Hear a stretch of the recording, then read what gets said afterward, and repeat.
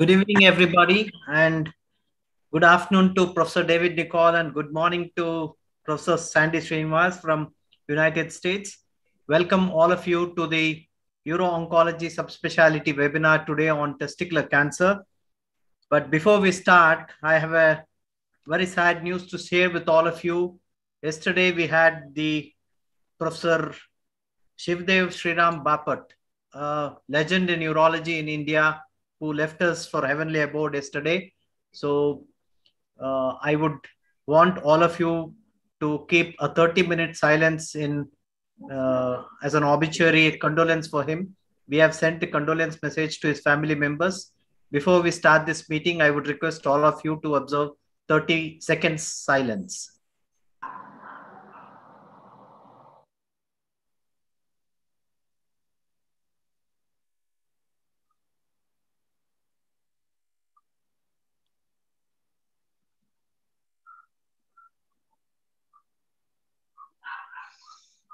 Hmm.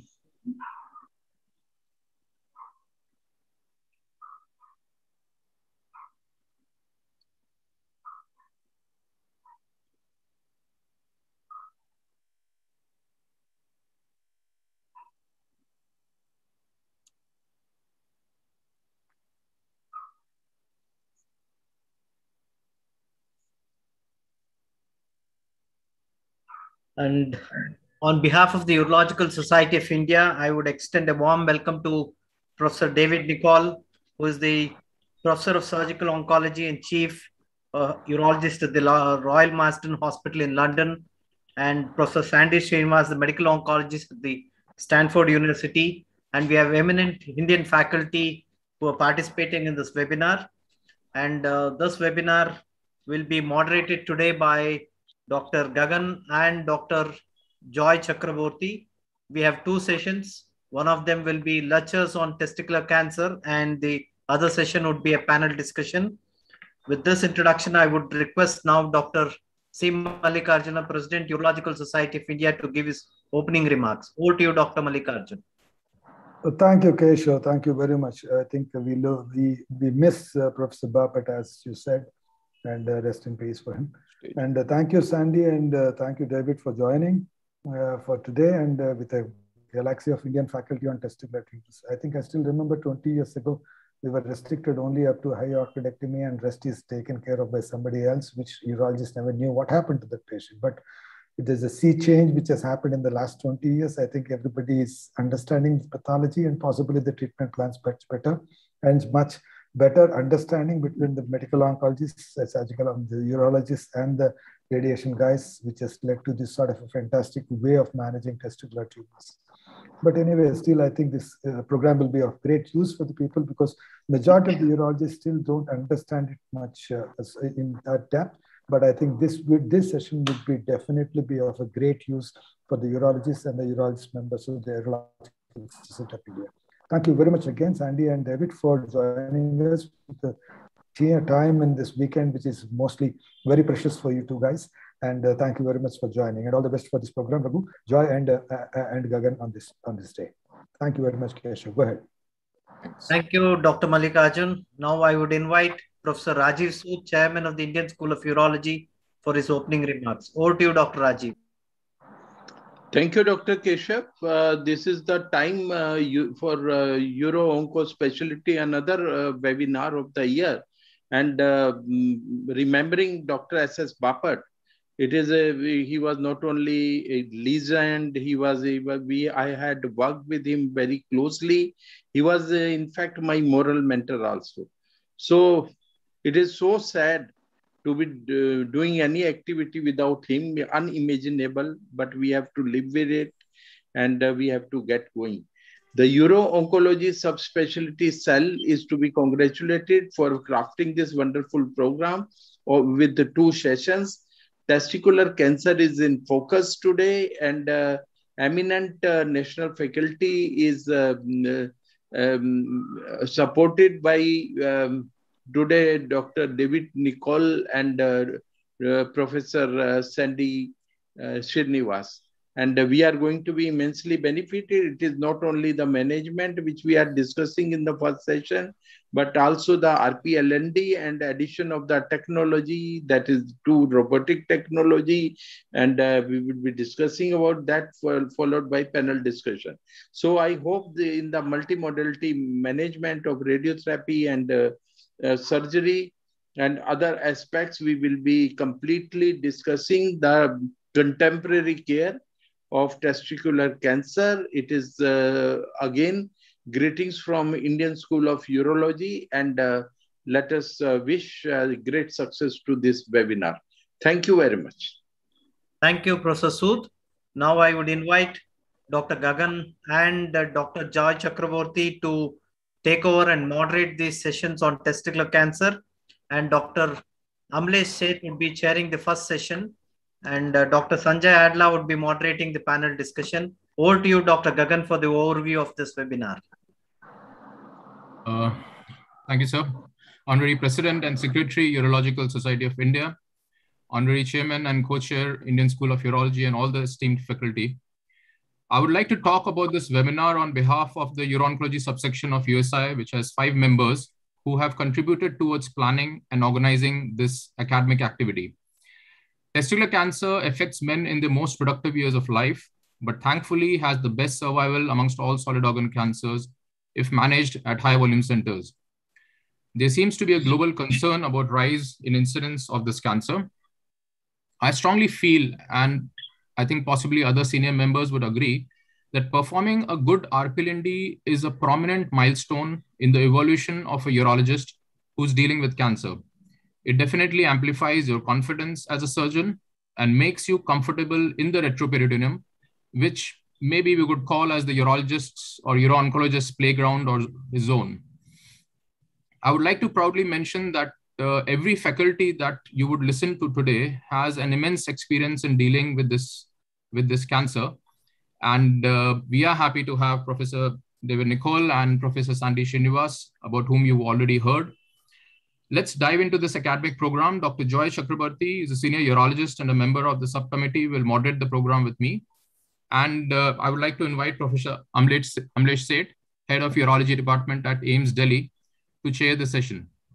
Uh, Dr. Jayan Kulkarni was supposed to be chairing the session with him, is unable to join us this evening. Uh, over to you, Dr. Joy, to invite the first speaker to start the program. Yeah, Thank am you, I audible? Yes. Thank you, Professor Amlesh Seth, um, uh, to chair the session. I would like to first invite uh, Dr. Jiten Jaipuria. Uh, he is a senior consultant onco uro-oncologist from Rajiv Gandhi Cancer Institute, and uh, he will um, give his talk on evaluation and management of testicular mass. Now the stage is yours. Jiten, are you here? Thank you, sir. I hope I'm well audible. Yeah. Okay. So Go on, let please. me.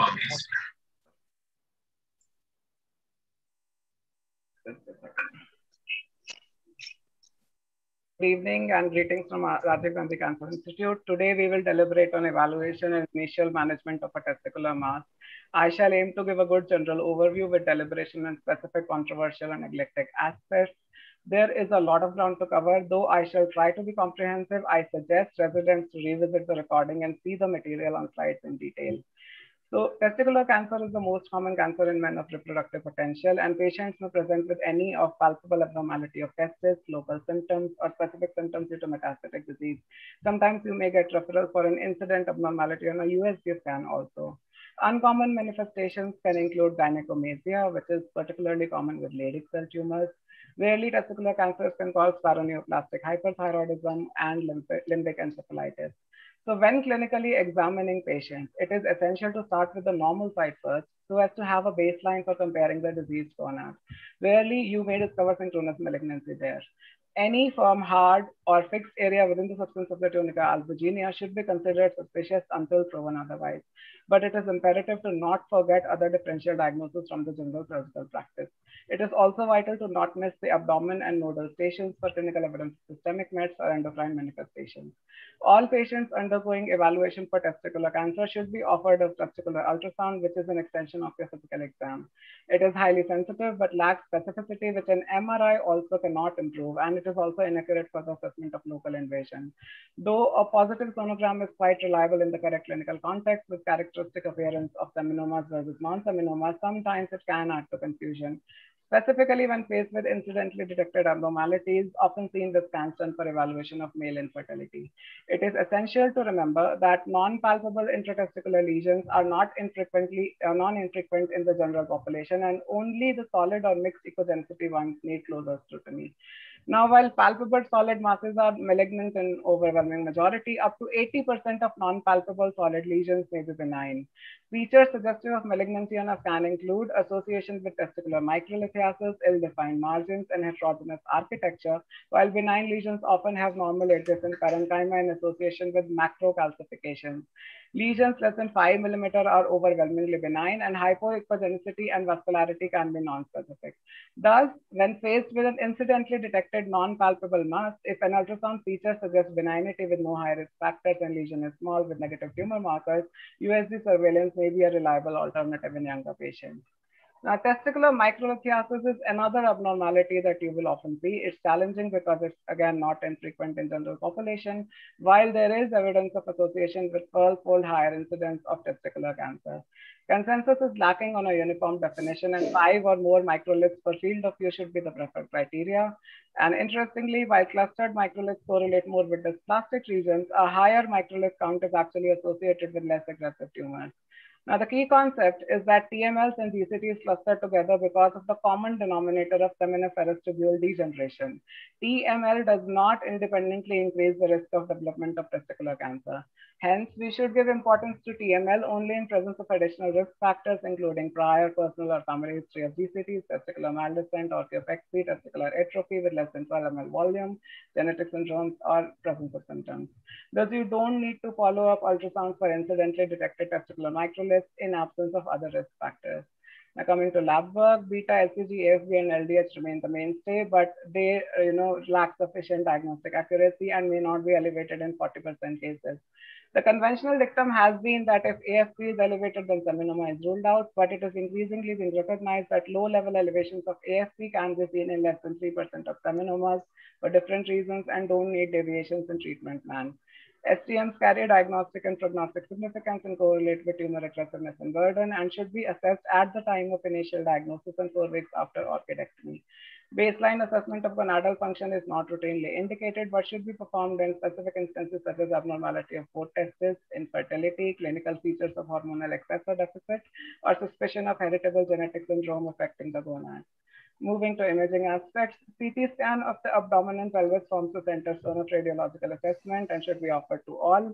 CT chest should be done if abdominal CT or chest X-ray is positive and do not forget brain MRI in those with high levels of beta HCG, non-pulmonary visceral mets or extensive lung mets.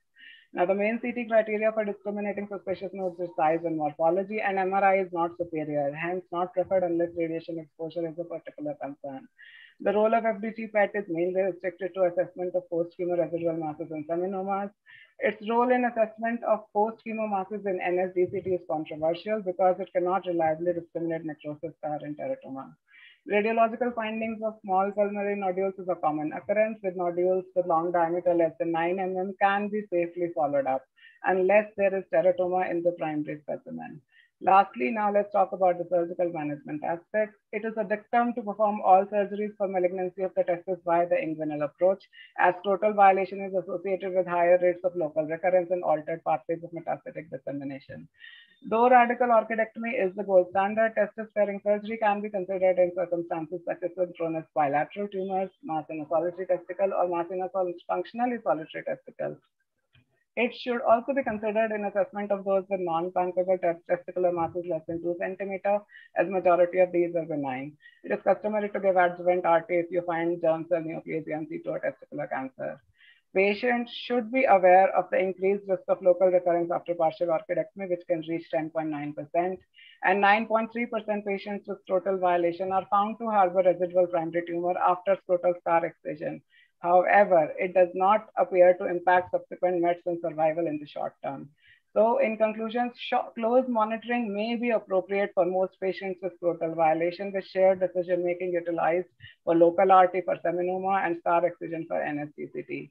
Now coming to evaluation of contralateral testes, because patients with unilateral testicular GCT have the highest known fact, uh, risk for developing a contralateral uh, testicular GCT, it is potentially advantageous to identify those who are destined to develop a second testicular neoplasm. The underlying concept is that all testicular cancers originate from a common precursor lesion called GCNIS, and these cells develop in utero while maturing during puberty. So majority of patients harboring GCNIS will develop frank testicular cancers in due time, and we can reliably identify them by their appearance in ISC, and they are relatively widely distributed over a large area, such that a two-point biopsy can pick it up with less than 0.5% false negative rate we can reliably treat them with local RT while preserving the hormonal function of the testis. So contralateral testicular biopsy offers three advantages. If GCNIS is found, you stand to treat malignancy in its infancy. If biopsy is negative, then you have peace of mind as de novo GCNIS does not arise in adulthood. Lastly, you also have high quality information about fertility. But the debate mainly arises because contralateral GCNIS is present in less than 5% cases, thus over treating a large majority. And treating it does not improve survival. Although smaller studies support screening for GCNIS, two large real-world studies failed to show reduction in development of contralateral testicular tumor by doing these biopsies. However, they had limitations where there was lack of pathological expertise in routine ISC testing, as well as biopsying only one site, which has high false negative rate. So the middle ground lies in considering contralateral testicular biopsies in those where you have uh, select cases with cryptorchidism, atrophic testes, microcalcifications, or extragonadal GCTs to look for testicular primary, and in those with young age. Coming to the last issue of sperm banking, Due to multiple reasons affecting spermatogenesis as well as fertility, it is not surprising to find 50% of patients with testicular cancer having impaired fertility at presentation. And 25% are actually azoospermic even prior to treatment, and they would further get subsequent gonadotoxic therapy. Now, recovery time frames following surgery, RT, or chemo can easily reach two years, with successful conception rates falling shy of 60% in many instances. So it is sad that despite strong guideline recommendations, less than 30% patients get offered fertility preservation. Fertility planning should be the part of care plan right after diagnosis before radical orchidectomy. Provided other hormonal issues are absent, initial semen analysis should guide the subsequent pathway. Those azoospermic or severely azoospermic at diagnosis should be offered microdissection testicular sperm extraction at the time of orchidectomy, and we also know it as OncoMicro-TESE. Management of post-treatment infertility in the post-chemotherapy uh, setting should be micro-TESE. So while in the post-RPLND setting, there is an opportunity to use alpha-adrenergics or electrostimulation. I think uh, this is all that we can cover in seven minutes. Thank you for the patient listening. Thank you, Jiten. You have been very precise and very, very quick. You have covered so many aspects in such a short while. In fact, in one of the chat messages, one of the messages is has been that you have been too fast. Uh, but I think you have covered the whole thing very well. And obviously, there are uh, most of the things are well kind of uh, are unambiguous. The main controversy is actually in the biopsy of the contralateral testis. Rest of the things are uh, more or less uh, well established and uh, the guidelines are very clear. So, uh, if there are any questions regarding that, uh, or maybe you would like to uh, speak one or two more sentences regarding the, the in your practice, how many times have you needed to do a biopsy of the contralateral testis, and uh, what have the indications in your own experience? Maybe that is something which might be relevant in the discussion. Uh, yes, sir. So, uh, in uh, so there are country to country differences in uh, you know how we approach contralateral testicular biopsy. So, uh, so far in the four years that I have been at RGCI, we haven't had that uh, you know specific situation where you had atrophic testis or those with cryptorchidism or microcalcifications or you know extragonadal GCT. So like I said, if these indications are present, it's a good practice. But again, uh, less than 5% of patients would ultimately, you know, fit into any of these criteria. So uh, uh, okay. personally, I had no personal experience, but I will consider it in these indications. Okay, so it is needed very, very rarely. So that is the message. Okay, so thank you very much. So now we will go on to the next uh, speaker. Professor David Nicol is going to speak on when is RPLND indicated in testicular cancer. In fact, this is the most important issue to be discussed today. And as has already been pointed out by Dr. Gagan Prakash, that ever since the integrated management, multimodality management, and integration of RPLND has come in the management of testicular cancer, the cure rates have gone up even in advanced testicular cancer. And this is a very important skill in the armamentarium of uro-oncologists. And this is what is going to be the main subject of discussion. And the first speaker is Professor David Nicol. He is uh, the chief of surgery at Royal Marsden Hospital in London. We all know Royal Marsden Hospital has been on the forefront of managing testicular cancer for the last, I would say, half a century or more than half a century. And before all these international classifications came, the Royal Marsden classification was the standard classification that was used in all the textbooks. And although there was no, no official guidelines, but whatever was the management protocol in Royal Marsden, that was what was followed in Europe and what was the guide, the pattern of management in Indianapolis. That is what was the management guideline used in, in uh, USA. And in our part of the world, we used to use uh, the Royal Marsden guidelines and welcome Professor David Nicol, who is Chief of Surgery at Royal Marsden Hospital. Many thanks for the kind invitation to present in this very exciting session on testicular cancer. I'd like to address the topic of when is retroperitoneal lymph node dissection indicated RPLND may be considered across the spectrum of disease at both the time of presentation and also subsequently. Currently, there are no indications for a role of retroperitoneal lymph node dissection in stage 1 seminoma. In contrast, it may be considered in selected patients with stage 1 non-seminomas germ cell tumours. Stage one disease is categorized into those at high risk of relapse based upon lymphovascular invasion, of whom 40 to 50% will subsequently relapse, which is then treated with multi cycle cisplatin based chemotherapy. In contrast, those without lymphovascular invasion are at low risk of recurrence, as only 15% go on to exhibit relapse, which is treated similarly. RPLND has been described in high risk stage 1 non seminomatous germ cell tumours. With this, 70% are confirmed pathological stage 1 disease. Of these, 10% subsequently relapse, although this is predominantly at distant sites. 30% patients, however, will be found to be pathological stage 2 disease and without further treatment, approximately 30% will relapse either in the retroperitoneum or at distant sites. Consequently, in this setting, adjuvant BEP may be employed. Nevertheless, we should be mindful that standard of care is regarded as adjuvant chemotherapy, with which only 3% of patients will subsequently experience relapse. Consequently, I feel that it has a limited role in this setting and essentially only utilize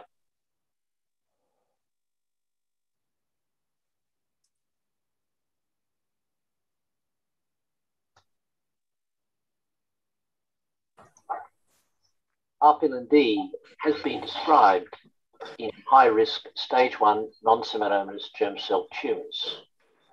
With this, 70% are confirmed pathological stage 1 disease. Of these, 10% subsequently relapse, although this is predominantly at distant sites.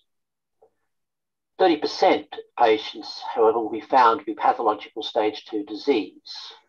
And without further treatment, approximately 30% will relapse either in the retroperitoneum or at distant sites. Consequently, in this setting, adjuvant BEP may be employed. Nevertheless, we should be mindful that standard of care is regarded as adjuvant chemotherapy, with which only 3% of patients will subsequently experience relapse. Consequently, I feel that it has a limited role in this setting and essentially only utilized in patients unsuited to adjuvant chemotherapy. In contrast, primary RPLND is indicated in a number of rare testicular tumors, which are both chemo and radio resistant. These include postpubertal teratoma with the primary containing somatic type malignancy. Similarly, malignant gonadal stromal tumors, which are a small subset of Leydig and Sertoli cell tumors, are chemo and radio resistant, and thus systemic disease is incurable. Thus, early RPLND should be considered in these settings as potentially the only curative option for the patient. RPLND is indicated in marker negative clinical stage 2 non seminomatous germ cell tumours. This can be in the setting of nodal disease at the time of presentation or with relapse after initial surveillance of stage 1 disease. With that which occurs at presentation, small nodes which are evident on initial scans should be restaged as in many instances this may be a reactive node and intervention is not required. With this strategy, patients are able to avoid unnecessary and toxic systemic therapy for what is otherwise chemo-resistant disease. RPLND, 10% of patients are downstaged who require no further treatment. Similarly, those with postpubertal teratoma have completed treatment with surgery. In cases where histology demonstrates active disease, 30% will go on to develop subsequent relapse. These cases have two options, either adjuvant chemotherapy or surveillance, and then therapeutic chemotherapy when relapse occurs. With both of these options, the cure rate approaches 98%, and thus this is a matter for discussion with the individual patient.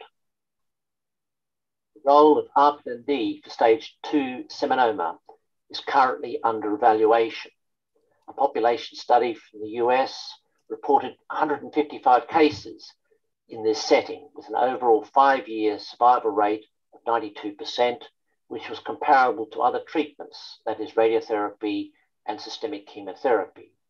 This data, however, provided no information on the relapse risk, other treatments, or disease specific survival of the patient. Presently, two trials are underway in the US and Germany, where RPLND alone is employed for stage 2 seminoma. With this, 20 to 30% will relapse, although successfully treated with multi agent chemotherapy.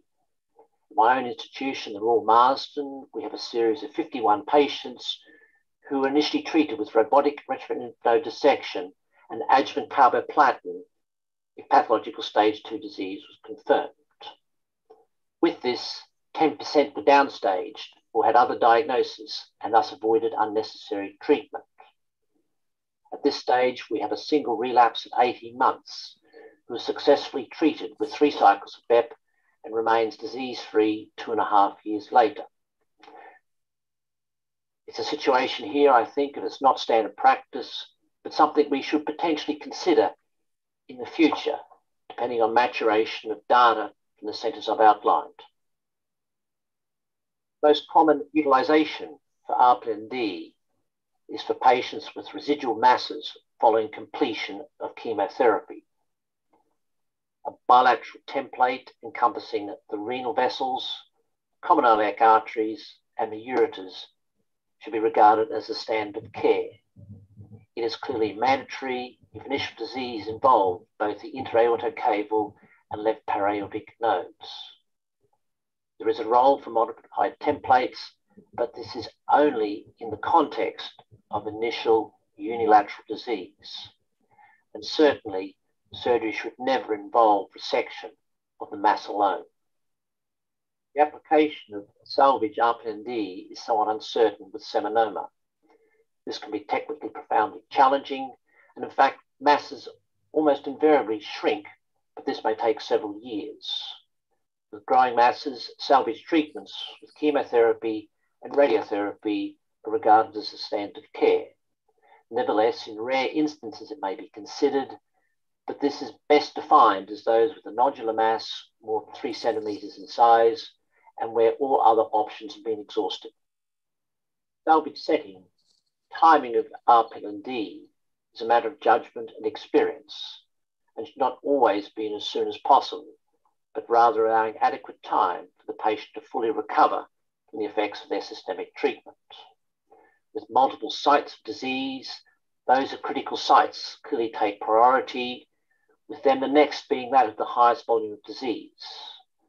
A further point to consider is that the histology at one site is not always predictive of that at others, and consequently all should be resected. Patients who failed systemic options, who have significantly elevated or rising tumor markers, what may be termed desperation RPLD can be considered. This, however, should be only if all sites of disease are felt to be resectable.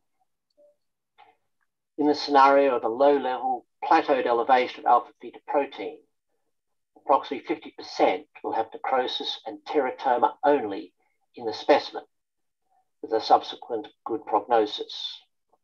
In contrast, those with substantially elevated or rising markers, while 60% may achieve a serological remission with surgery, 80% will subsequently relapse and prove incurable. A further uncommon scenario for RPLD is in the growing teratoma syndrome. And this is the patient with an increasing mass after normalization of markers at mid-treatment with cystic features of the retroperitoneal mass as shown here in this particular case. In this scenario, proceeding immediately to retroperitoneal lymph node dissection should be undertaken without completion of chemotherapy. Surgery is also indicated in the difficult situation of relapse, which is where disease recurs more than two years after a successful initial primary treatment. This can occur many years after initial diagnosis. It can comprise postpubertal teratoma, which may have features of dedifferentiation, as well as what is often termed a chemotherapy induced yolk sac tumor, manifesting as a mass in association with a modest elevation of the alpha fetoprotein. The retroperitoneum is the most common site, with this reflecting either inadequate initial surgery or observed residual masses. Late relapses, except those with HCG elevations, are almost invariably chemoresistant, and surgery must be performed whenever feasible. Chemotherapy may be considered initially, but only to render the disease resectable. Otherwise, these patients are incurable. I'd like to highlight several mistakes occur, that occur with the utilization of RPLND. These can include poorly performed surgery, as well as unnecessary surgery for the incorrect indications. Similarly, you must be aware of the fact that the option of surgery is overlooked and the patient subjected to additional chemotherapy, which is unnecessary and of essentially little gain. We're also critically dependent upon the histological interpretation and radiological recognition of features which would lead patients to surgical intervention. As a final slide, I'd like to make these following points that RPLND is critical to the curative treatment of testicular cancer in selected settings. It's an uncommon and technically challenging procedure which is best managed in high volume centres with multidisciplinary involvement of urologists, oncologists, pathologists, and radiologists, with formal discussion of all testicular cases involving these specialty groups, irrespective of stage. Thank you for your attention.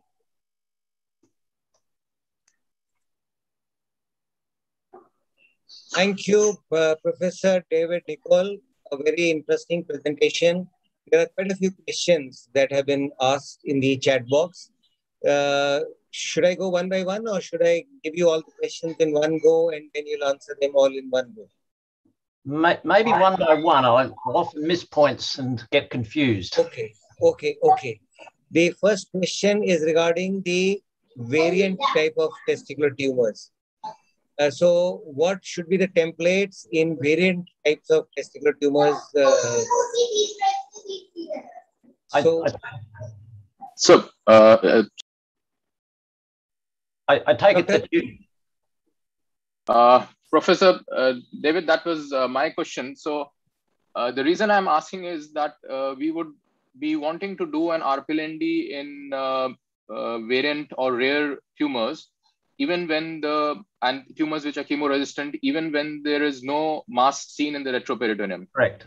Yeah. Uh, now, whereas we are tempted to reduce the mobility in uh, these RPLNDs by considering, say, nerve sparing or an extraperitoneal or a robotic, but at the same time, we are uh, concerned about a more aggressive cancer uh, with these uh, so you know should we always do a standard even though there are no nodes or there is a room for a, a less invasive or nerve sparing RPLND invariants um, in, in, my opinion these diseases are absolutely incurable anything else.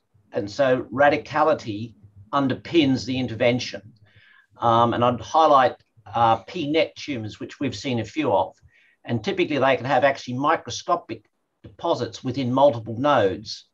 And given we know about crossover so i think essentially, if you leave a node there, that's a missed opportunity for cure if it contains disease. And so I don't think that be compromised because once these diseases have radiologically evident nodes, they often do very poorly with surgery at that point. So I think stage one disease and aggressive consideration of RPLND. Um, the other point with that is that it's very important that an experienced histopathologist looks at Leydig and Sertoli cell tumors because, in fact, it's actually very rare that they have the true malignant features. And so it's rarely done in that. But if anything's got PNET or dedifferentiated teratoma in the primary, I'd be suggesting that a fairly radical primary RPLND is the treatment of choice. So if you find PNET in the primary, you would definitely go ahead with a very extensive retroperitoneal lymph node dissection as early as possible. Yes. Okay, now the second question is regarding seminoma of the testis.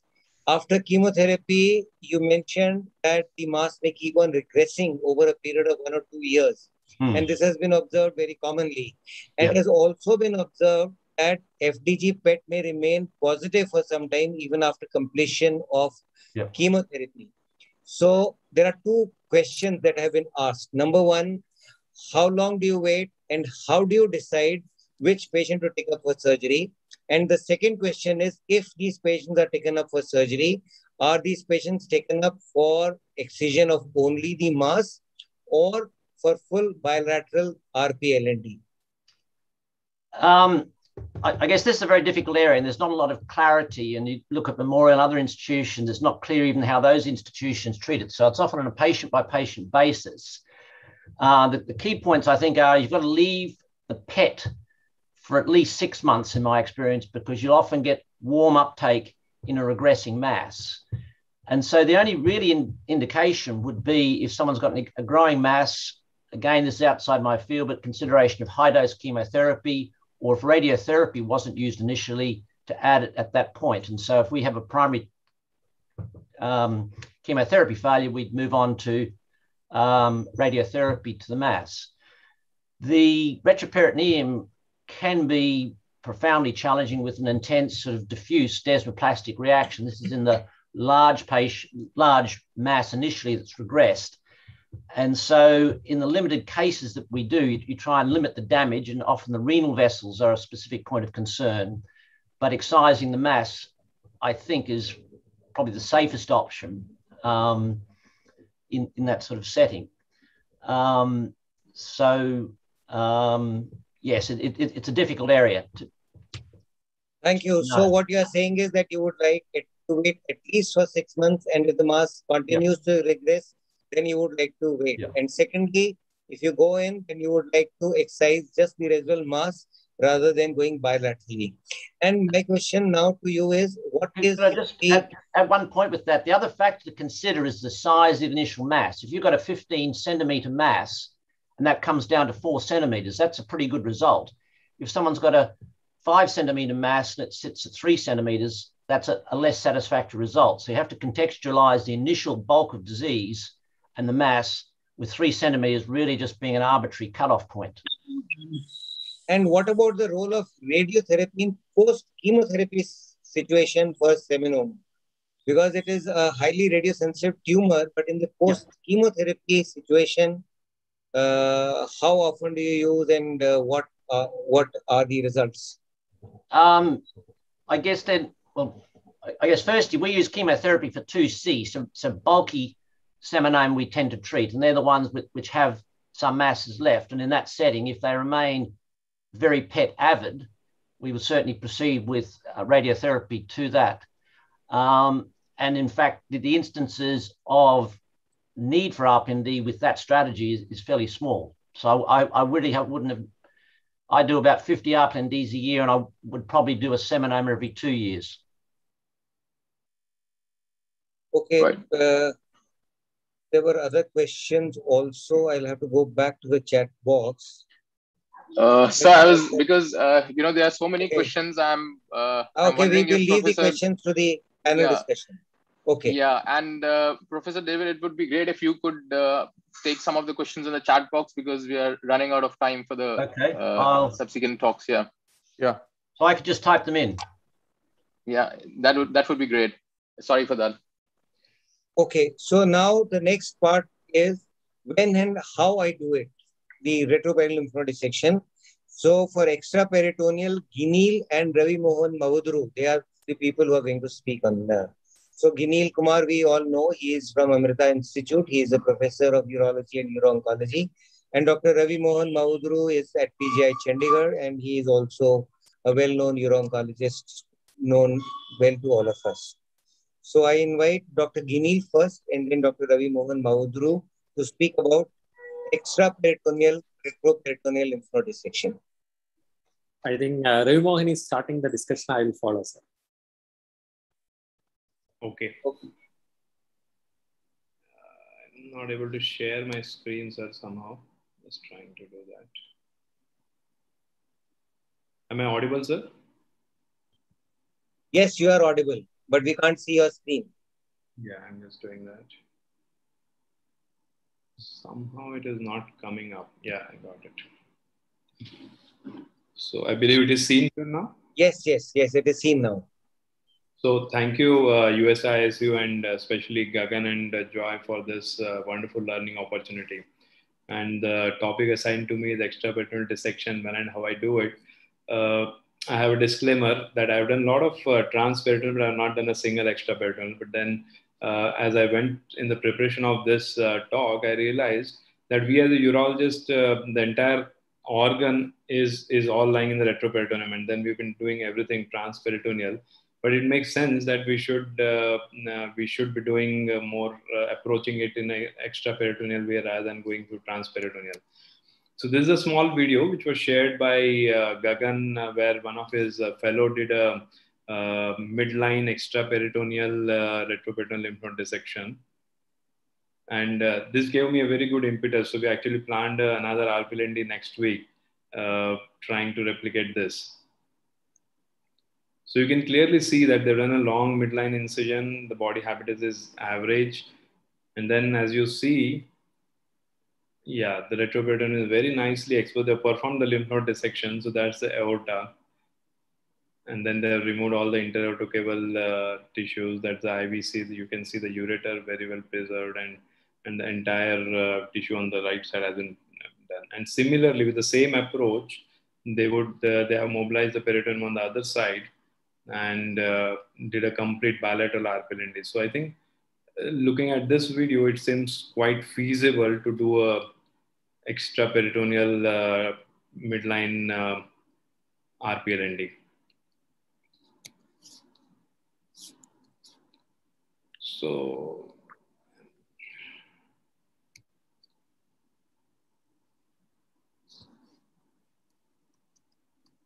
I think we're playing the video again.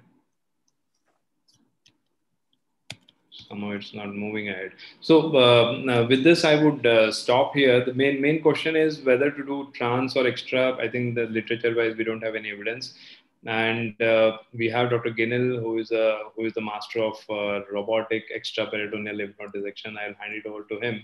Uh, and as he will talk, he will also address some other questions associated with that. Dr. Ginil. Thank you, Ravi. Uh, can you share the? Yeah. We can see your slides. Sir. Okay. I'll, uh, I'll optimize them. So uh, same question, why should we go transperitoneal when it is possible extraperitoneal that is applicable to a robotic also? So in this video, in this uh, presentation, I'm just discussing about extraperitoneal approach for RPLND. It is well described laparoscopy, but was not attempted in robotics. So we plan to do it extraperitoneally. This is the uh, positioning. The patient uh, on uh, usually we approach from the right side, but left side also we have started to do. Uh, right side is easier. Even uh, we can go across up to the opposite. The robot position is here and uh, monitors are on the opposite side. Uh, surgeon, assistant, and nurse are the same side.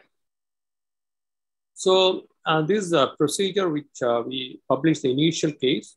This is a position, supine position, just tilt the patient. Then with the, we, with the finger, we don't have the, uh, uh, the other instruments like balloon. So we use the finger under camera guidance after entering into the extraperitoneal space we create the initial space and uh, put, the, put the other ports under finger guidance. After uh, putting the, all the ports, this is the port position, and uh, the camera is put through a, uh, a robotic port, uh, through the usual port, 12 mm port, uh, which is used for finger guidance, and rest of the ports are put. So lower is for scissors, upper is for bipolar and ProGrasp. So first the psoas is identified and we climb along the psoas. Then the ureter is identified and uh, ureter is dissected down and uh, separated from the tumor. Then the gonadal vessels we identify and uh, dissect it up to the external ring. Sometimes we may have to swap the ports to get the distal end. We can go across. This is the opposite ureter we can see here. We can go up to that level across the across the great vessels and just dissect the entire lymph nodular uh, mass from the IVC and the aorta. And this is the intra-aortocaval that is dissected and just yeah, putting the putting a very short clip. Um, we climb along the uh, large vessels and uh, dissect the intra-aortical. Why I would like to have a extraperitoneal? Because one, there are some concerns about losing the tissue and uh, peritoneal deposit in robotic when we are doing uh, uh, transperitoneal approach. Here we are peeling off the tissue uh, from the great vessels as a, uh, as a bunch without uh, dissecting into piecemeal. So the removal is uh, complete. And also, since there is pneumo, the chance of oozing from the vein is very less. And we can very well control the posterior vessels of, uh, from the IVC and the aorta better than from the anterior aspect.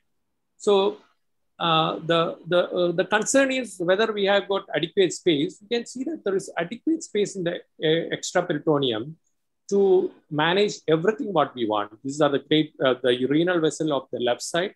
Is the artery crossing and uh, we can go across to the opposite side. From the right side, we can easily go to the opposite side. And uh, we have preserved the nerves also in the other side. So majority of the case, we preserve the inferior mesenteric artery because it is very easy to preserve in the extraperitoneal route using robot. all the cases are uh, post-chemotherapy. Few of the cases we have uh, preserved the nerves, but it is very difficult in the post-chemotherapy scenario.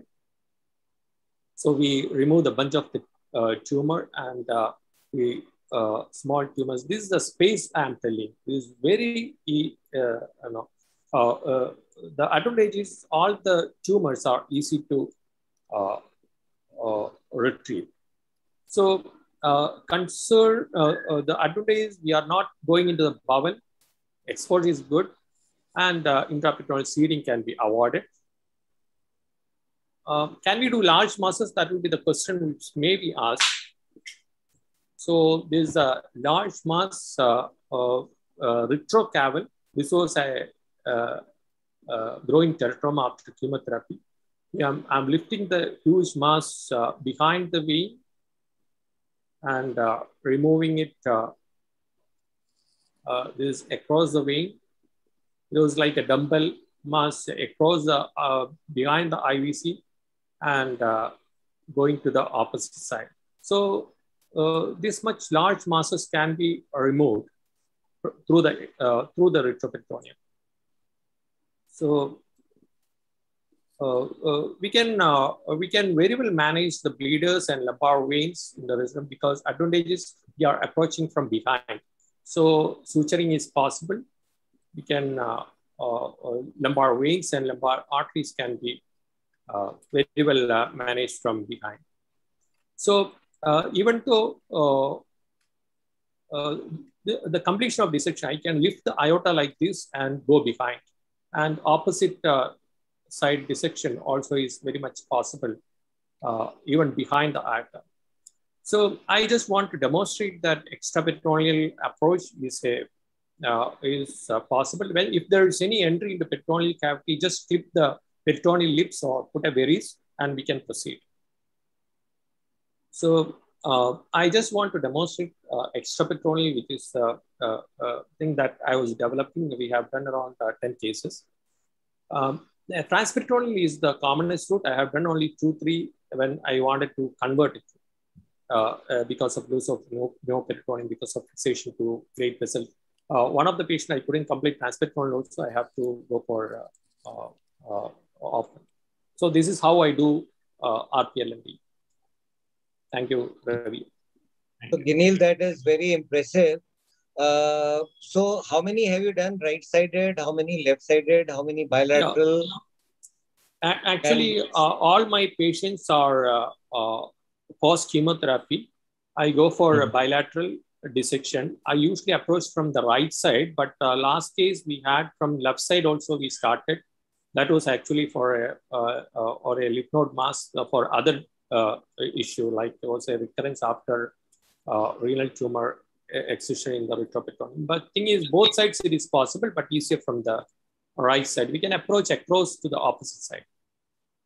So if it is a right-sided testicular tumor, you will begin and complete from the right side. And if it is a left-sided testicular tumor, yeah, you'll begin and complete from the left side. Uh, uh, uh, I used to side. go from the right side and uh, completely if I'm planning for a bilateral, but left side, if it is a limited dissection, uh, template dissection, we are doing. Otherwise, uh, bilateral uh, dissection, probably uh, a right side approach is better. And what will you do to the inferior mesenteric artery? Usually, I preserve all the cases I could preserve. But if you are uh, dissecting and uh, cutting, um, dividing the inferior, the space may be even better. Because going on to the opposite side without dividing the inframesenteric yeah. artery. Yeah, yeah, we can dissect it and skeletonized so that uh, we will get adequate space. Mm-hmm. And I'm sure the most common fear that any surgeon, RPLND surgeon has is how to manage the major vessel injury, the vena cava injury and uh, the aortic injury. So what what kind of guidelines would you give? Because you showed this aortic injury managed very well, but uh, everybody may not be as lucky. Or do you, or what do you think that with robotic, chance of these injuries are less, or they are managed better? What is your uh, opinion The and experience? extraperitoneal approach, we are doing it in the supine position. There is no need to reposition the patient. That is one advantage of extraperitoneal approach. Transperitoneal also, majority of the case, uh, we will be able to, uh, uh, if we can identify the bleeder, we can just uh, very well ligate uh, robotically itself. I think uh, Dr. Kochikar has uh, raised his hand for a question. So, Yes, Sorry, sir. the chat box was disabled, so that's why I was asking this question. Excellent video, Ginil. Just wanted to know, as Amalesh has pointed out, one of the drawbacks for minimally invasive surgery is to have a proper vascular control in a major sort of a catastrophe like an aortic injury or a vena cava injury. So transperitoneal uh, open approach would have a good sort of an exposure all around, perhaps maybe indicated in difficult situations like a dumbbell shaped mask, what you showed. Otherwise, straightforward, uh, you know, prophylactic RPLNDs could be done retroperitoneal mm, uh, in a minimally invasive. That's the point I was making. Thank you. Actually, we can clamp the aorta, sir, because we are we actually clamp the aorta for aortofemoral bypass. We are attempting uh, through this route, so we could clamp the aorta from the side clamp.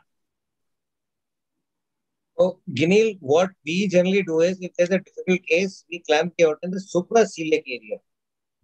If there is a Okay. chance, especially if there is a left sided tumor, and there is a good chance that we may land up with a left nephrectomy, and if there is no space available between the mass and the aorta, and uh, on the CT scan, the artery is seen as if totally engulfed by the mass, and we may have to divide the artery almost flush with the aorta and and and sew that buttonhole that is made in the aorta. For that kind of a situation, we our practice is to control the aorta in the supraceliac area, and that kind of a control is not what is uh, because the problem is not the lumbar arteries. The problem is not the intramesenteric artery. The problem is actually if the left renal artery is has to be divided almost at the aorta or very close to the aorta. That is the biggest trouble. And for that, you need a control of the supraceliac aorta rather than of the infra infrahilar aorta. Yeah, so I think uh, we'll have to go to the Okay, next okay. talk. And uh, Okay.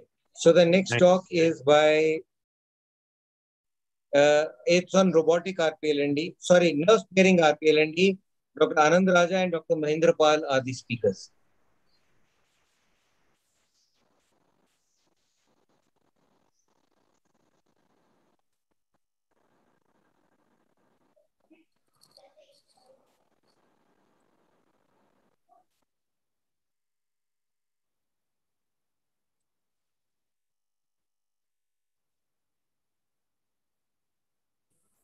Uh, my screen is visible. No, Am I audible? not yet. Am I am I You audible? audible, but your screen is not visible. Okay. Okay. Uh, now is it, is it visible? Is it? Yes, yes, your screen has come. Yes. Okay. Go ahead, Mahindra. Okay. Okay. Thank you, Dr. Gagan and Dr. Joy, for the opportunity. So this uh, uh, session, uh, Dr. Anand Raja will be speaking uh, after me, and I am covering uh, the one, one uh, short video of uh, sparing RPLND, how uh, we do it. So this is uh, our faculty in uh, and, at TMH. And uh, as uh, uh, we all know that the nerves around the great vessels, that sympathetic chain and fibers travels in front of the aorta and interred cable, they go behind the IVC to connect to the contralateral sympathetic chain. And uh, the how we choose the patient, the nerve sparing RPLND should be offered to the highly selected patients who are who are contraindicated to chemotherapy and unwilling, of active surveillance and selected cases of uh, stage 2A NSGCT and should be done by and done by the experienced surgeon or in a, a very high volume center uh, who are doing the surgery uh, routinely. So our patient is 25 year old male, unmarried, having orchidopexy in age of five year. He had raised uh, tumor marker, right testicular uh, mass uh, on CT scan. It's a para-aortic aortocaval node, and uh, HIO was done that shows uh, high risk uh, NSGCT because corrected testicle involved and the size was uh, uh, six centimeter and LVI present and carcinoma in situ. Uh, we repeat serum markers after six weeks that were normal And uh, uh, CT scan showed the same uh, lesion in the retroperitoneum. Patient counseled about the chemotherapy and primary nerve sparing RPLND with advantages, advantages and he opted for nerve sparing RPLND. So how we went ahead with the surgery. So the primary request is, is uh, to proper exposure. So retroperitoneal expose after lifting the bowel with the root of mesentery and uh, the bilateral, uh, the uh, template is uh, defined as we all know uh, by the let uter laterally and hilum superiorly and common iliac nodes inferiorly. utmost care to be taken to ligate the lymphatics is a right renal vein. This is the left ureter being identified and looped so this is the template, the IVC. This is the nodal mass in interarticular region. And this is the aorta being marked. This is the ureter. So this is the, our uh, template of uh, uh, nerve sparing RPLND. So sparing RPLND, RPLND, we have to split and roll over the IVC as we know that uh, the nerve fibers are behind the IVC. And uh, because this node was superficial, so first we remove the node to uh, get uh, exposure of the nerves. And by the sharp dissection, uh, we identify the nerve. One thing is which I found that one nerve leads to other nerves. So once you find the one nerve, be very careful not to injure that. Once you lose that, you will not find the, be difficult to find the other nerves. So once it loop and with the traction and sharp dissection, the hypophytic tissue is being dissected uh, from the nerves. So this is the intra cable uh, uh, nodal tissue has been removed going towards the uh, retrocaval area. This is the paracaval region where we identified the sympathetic chain uh, and the nerves joining the sympathetic chain.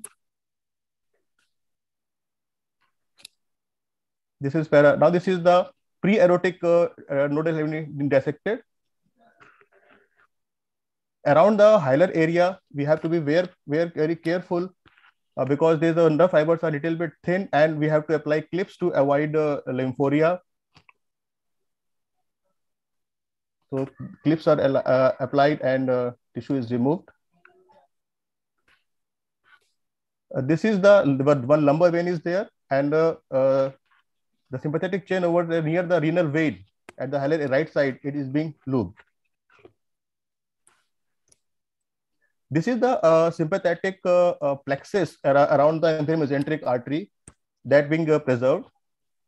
If we can uh, see the nerve fibers being lifted and all uh, fatty tissue between the nerve being dissected. We can see the inferior mesenteric artery. this is the tissue that has been will also be removed.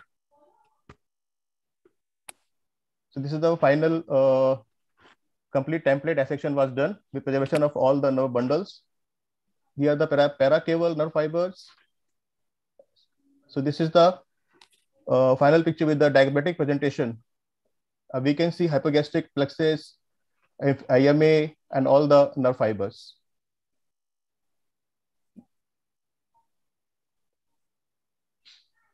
Is the final picture showing all the nerves which were preserved.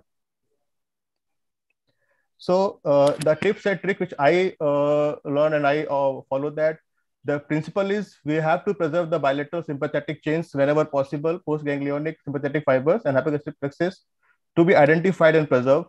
Uh, the basic requirement is in-depth understanding of the retroperitoneal anatomy and its common variation and excellent exposure of the retroperitoneum. and the other uh, tips and tricks uh, are that we should start uh, the uh, split and roll technique over only or the IVC identification well nerve fiber at the uh, region and avoid using electrocautery around the nerve fibers and sharp dissection to identify the nerve, loop them, and to uh, follow those nerves to the other nerves. And one important thing, dissection of aorta should never be uh, done before you identify the nerve fiber at the other, other area because it can disturb the uh, nerves. And again, one uh, the oncological principle, margins of resection should never be compromised in an attempt to maintain the ejaculatory functions. Uh, Thank you, Mahendra. That was excellent. I'll request uh, Dr. Anand to yeah. take over. Hmm. That was indeed an uh, excellent demonstration and very well captured video, Mahendra. Thank you. Thank you.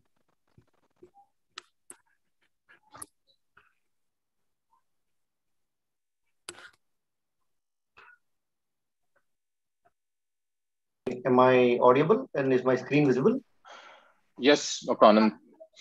Yeah, so you know, thanks to the organizers for uh, inviting me for this talk here. Uh, you know, coming to the nerve sparing RPLND. So if you've done everything after that brilliant video by Dr. Mahender, if you've done, uh, you know, if you've done exactly all the steps that he said, this is what you land up in. You can actually see the, you know, the IVC. You can see the right renal artery. You can see the left renal vein, and in between you can see all the, you know, all the nerve fascicles, all the nerves going on. And as Dr. Mahender very beautifully said, you all that you have to do is identify one nerve and you can go back and forth and one nerve can can can lead to an anastomosing pattern of, of branches. As you can see, the middle nerve here is actually branched into two. So you, you catch hold of one nerve and then you go up and down and then you can preserve the nerves. What are the results of nerve sparing RPLND? We'll just very briefly talk about the publication from our institute on nerve sparing post chemotherapy RPLND for uh, NSGCT. Um, so the, the study uh, in the study duration, we are uh, 110 patients underwent post chemotherapy RPLND uh, nerve sparing RPLND was achieved in about 33 patients. Roughly about 30 patients of the pair of, of all patients underwent nerve sparing. This was slightly lower in high volume centers. They say that you know up to 40% or even more can undergo nerve sparing RPLND. But uh, that probably just reflected the learning curve at our institute. The median follow-up duration for all these patients was 75 points. Uh, you know was was a little over six years. That is important because we'll talk about oncological outcomes very shortly uh, you know, baseline characteristics, if you can actually see that, you know, regarding what Dr. Mahender had said, of these 33 patients, 17 were stage 2B, 10 were stage 2C, and we even did a couple of, uh, you know, uh, six patients for, for stage 3. Um, pre-op semen analysis, as Dr. Jitin had very perfectly said, all of them need to have a pre-op semen analysis.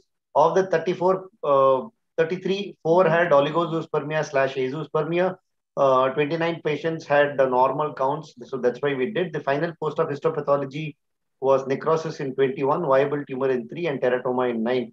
Uh, the laterality was was was just slightly more in right, but but but nothing very significant. Um, I'm so sorry. Yeah. So 19 of uh, 33 patients who have nerve sparing uh, RPLND had antegrade ejaculation preserved. So that's about uh, slightly less than 60%. Antegrade ejaculation, if we if we uh, look at the study duration and just divide it half by half. Like I said, you know, the learning curve was, was significant. So antegrade ejaculation was achieved in 47% of the patients who underwent surgery during the first half of the study compared to about 70% of the patients who underwent surgery at the later part of the study. Uh, you know, the reasons being everything that Dr. Mahender had said, don't use diathermy, you know, meticulous dissection, uh, you don't have to buzz everything that bleeds. The mean duration of time to antegrade ejaculation from surgery was about seven months. Again, this is slightly more than what is reported in literature, which is about three to four months. And at the end of the study, four patients have naturally fathered uh, children until the time of the last follow-up. The five-year DFS was 98%. Only one patient had a recurrence.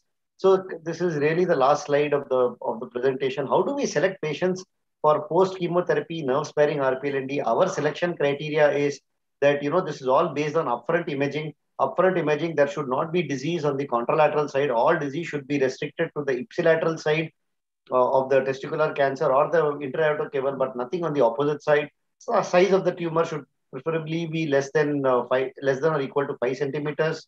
Uh, and there should be absence of extensive fibrosis or desmoplastic reaction in the retroperitoneum, as was alluded to by Dr. Nicol. There are a few limitations retrospective nature, small sample size, selection bias for low volume disease, and uh, absence of routine post-operative uh, analysis. This was pretty much conversant, uh, consistent with what was also reported in literature. Again, only one paper from India that was available by Dr. Amlesh Seth where they looked at post-chemotherapy RPLND. Uh, you know, 20% of the patients underwent nerve-sparing RPLND, and the overall survival was about 75%. Uh, the five-year DFS was about 75%. Thank you so much. Thank you, both of the presentations have been excellent. And I would really uh, commend the quality of video of Dr. Uh. He had actually shown the nerves very beautifully. And although there are no beginners here, but I would just like to point out that for the beginners, they can take help of senior people who have been doing lumbar sympathectomy for Buerger's disease.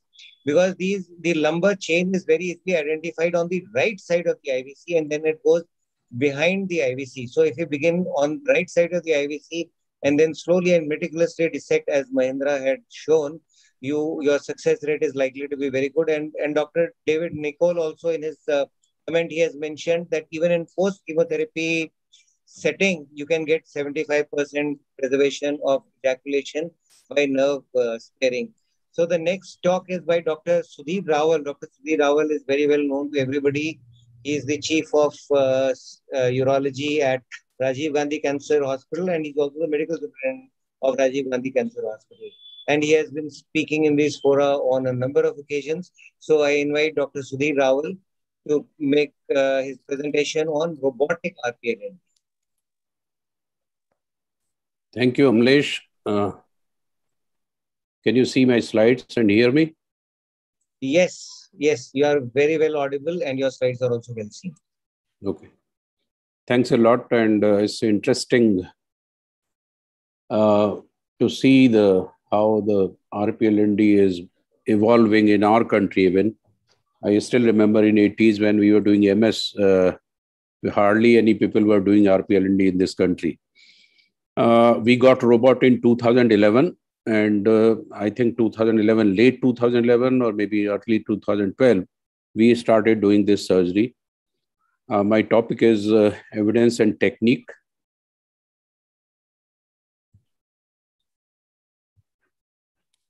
Sorry.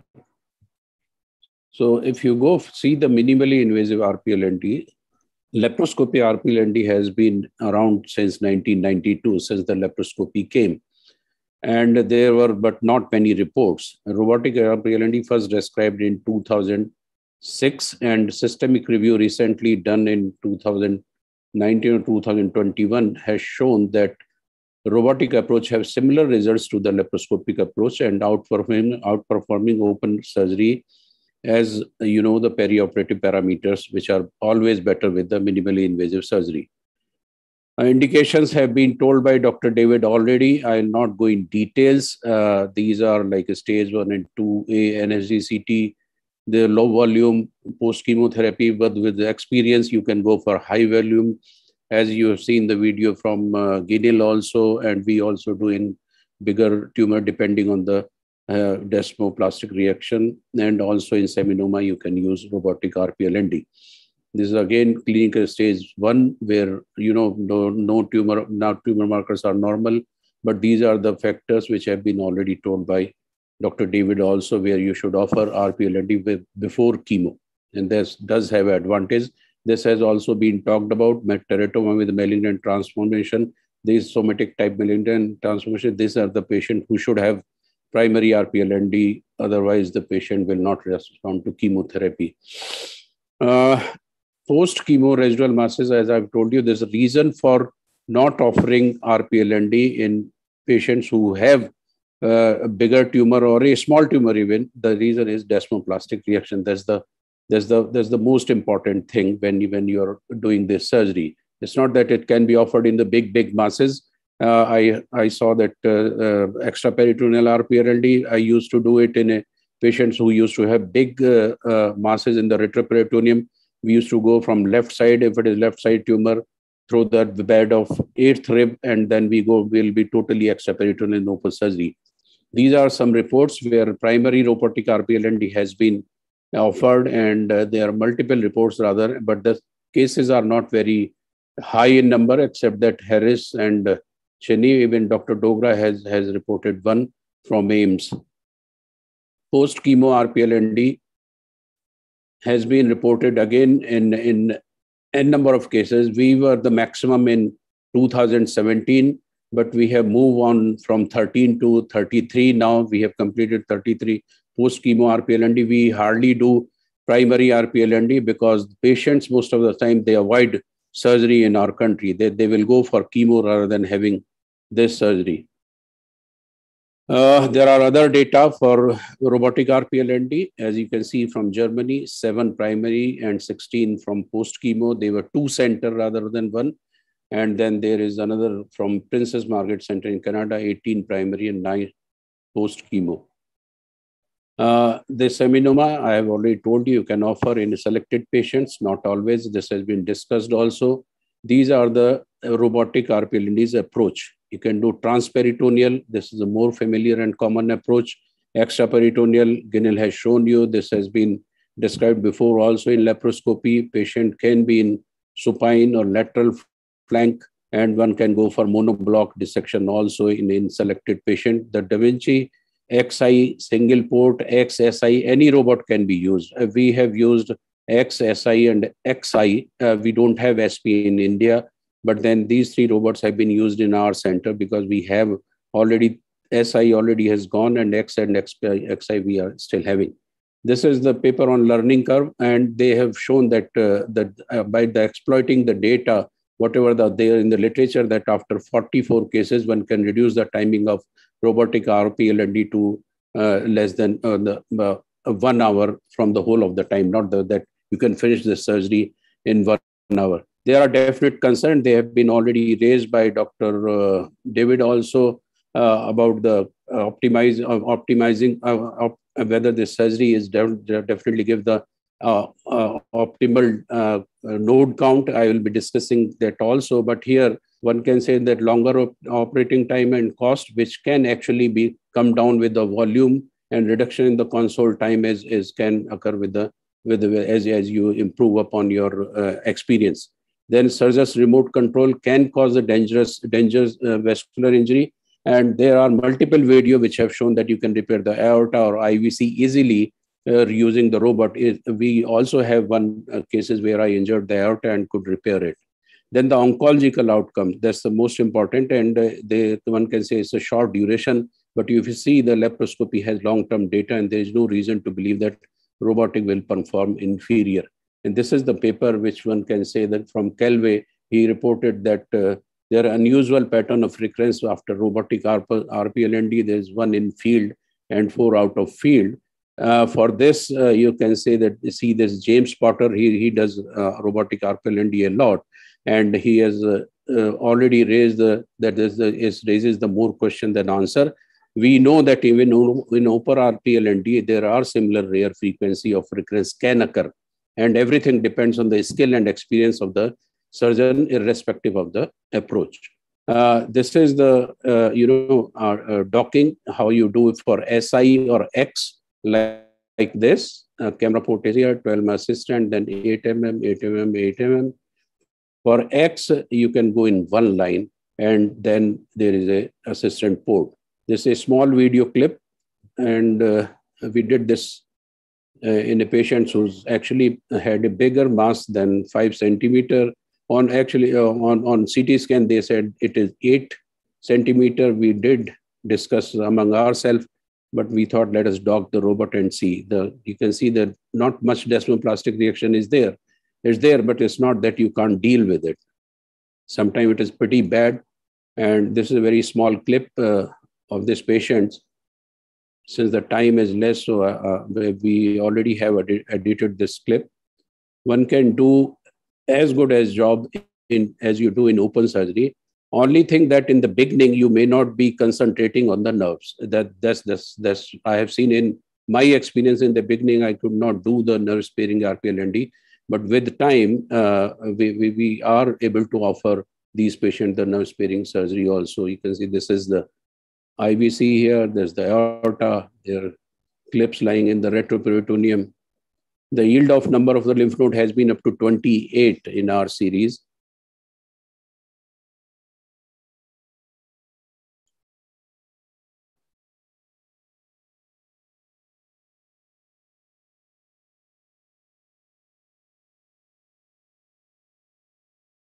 One need to clip the uh, lymphatics, otherwise you'll end up in the lymphorrhea.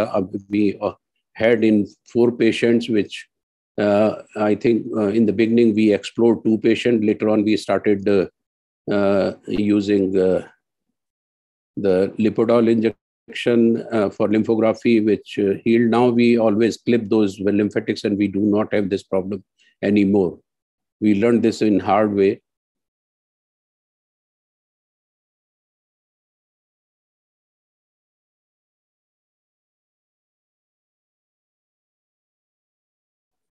There's the periodic.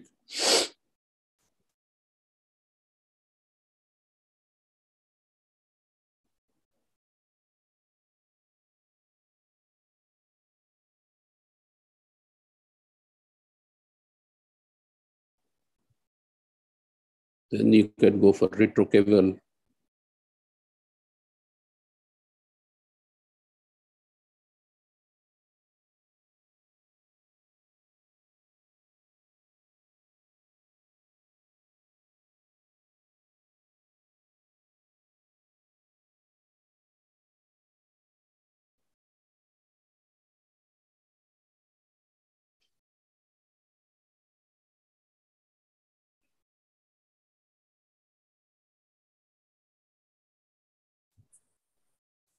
So key points are that robotic RPLND has evolved to become a well-tolerated, effective treatment option and can be performed in a single dock setting uh, for a bilateral template dissection. Good thing is that patient discharged on second or third day, which actually cannot happen in open RPLND.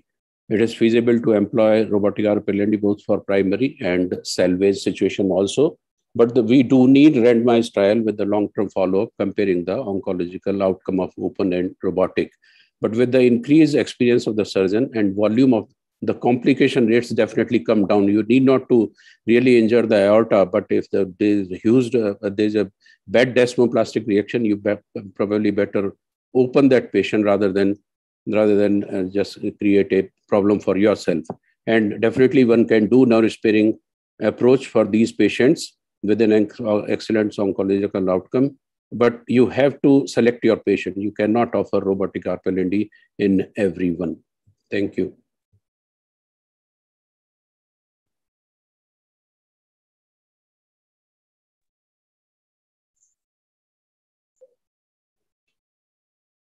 Uh, Dr. Amlesh, I think you're muted. Okay. Okay, thank you, Dr. Sudhir. In fact, we are running short of time. Thanks, Dr. Sudhir. You have done a very good job. Uh, because we are running a little short of time. The chat box has been very, very active. Uh, but I think uh, we'll uh, postpone these chat box questions to the uh, panel discussion time. so now I would invite Professor Sandy Srinivas, who is a professor of medical oncology at Stanford University. She is trained in New York.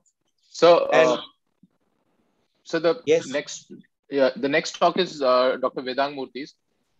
Okay, sorry, I missed that. Okay, Dr. Vedang Murthy. Yes, Dr. Vedang Murthy is going to talk about radiotherapy for testicular cancer. In fact, there have been some questions regarding radiotherapy. So I hope all these questions will be clarified. Dr. Vedang Murthy is a professor of uh, radiation therapy at Tata Memorial Hospital. And he's going to talk about radiotherapy for testicular cancer, current understanding and concerns, both. Dr. Vedang Murthy, please. Thank you, uh, Dr. Amlesh. I think uh, uh, everything is set, I guess forgotten modality, uh, but let's hope that uh, I give some perspective about uh, and some new information about what radiotherapy can do and should do in, semi, in testicular cancers. So I have been asked to talk about the current understanding and concerns. And uh, uh, this slide summarizes the current understanding. Um, in NSGCTs, there is no definitive role of uh, radiotherapy except in very uh, peculiar or individualized situations. So we'll leave that for the moment. Um, in seminomas, I'm going to talk about stage one, uh, stage two, A and B, where it is considered the standard of care. And I'll show you some new data and some very interesting uh, information about the role of radiotherapy that we're talking about post chemotherapy uh, setting that we've just been uh, discussing so much. The current concerns are simple. Uh, radiotherapy comes with a big baggage of second cancers um, uh, that is somehow uh, uh stuck uh, in a way that uh, it has. That is why the role has diminished. But I'll talk about are these relevant and can we do something about it? There's also a lesser known issue about cardiovascular complications after radiotherapy, and the etiology of that is not clear. So for stage one seminoma, uh, it's a well-established paradigm to, to treat with radiotherapy. The idea is to treat the draining lymph nodes in the abdomen and pelvis and follow up the patient. Uh, this uh, achieves a cure of 98, 99% uh, of the patients, and that should be the end of the story. But that is clearly not the case. So what is the problem? As I said, second cancers. And there's a definite uh, but small and finite risk of second cancers and to put a whole lot of literature uh, of large uh, population-based studies in perspective, I think uh, uh, uh, so, so this kind of summarizes it for a 35-year-old patient who undergoes radiotherapy. The 40-year risk. So when the patient is 75, the risk of second malignancy, uh, particularly solid malignancy, is about 33% as compared to 23% if that patient had not undergone uh, radiation. So there is a risk um, and uh,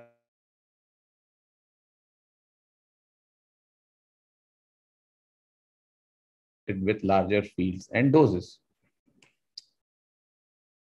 Now, can we do something about it? Uh, in a very nice modeling paper, uh, we can do two things. Uh, the second cancers are related to primarily to, to the amount of tissue that is irradiated, that is the uh, field size and the dose. And you can see a very, in, very nice graph here. The bottom, uh, this is patient received radiotherapy at the age of 35.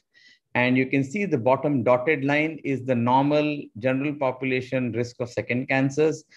If uh, the top is what happens when we treat with a large dogleg field, and the bottom middle one is with what we treat with a smaller para-aortic field. So that is just to give you perspective.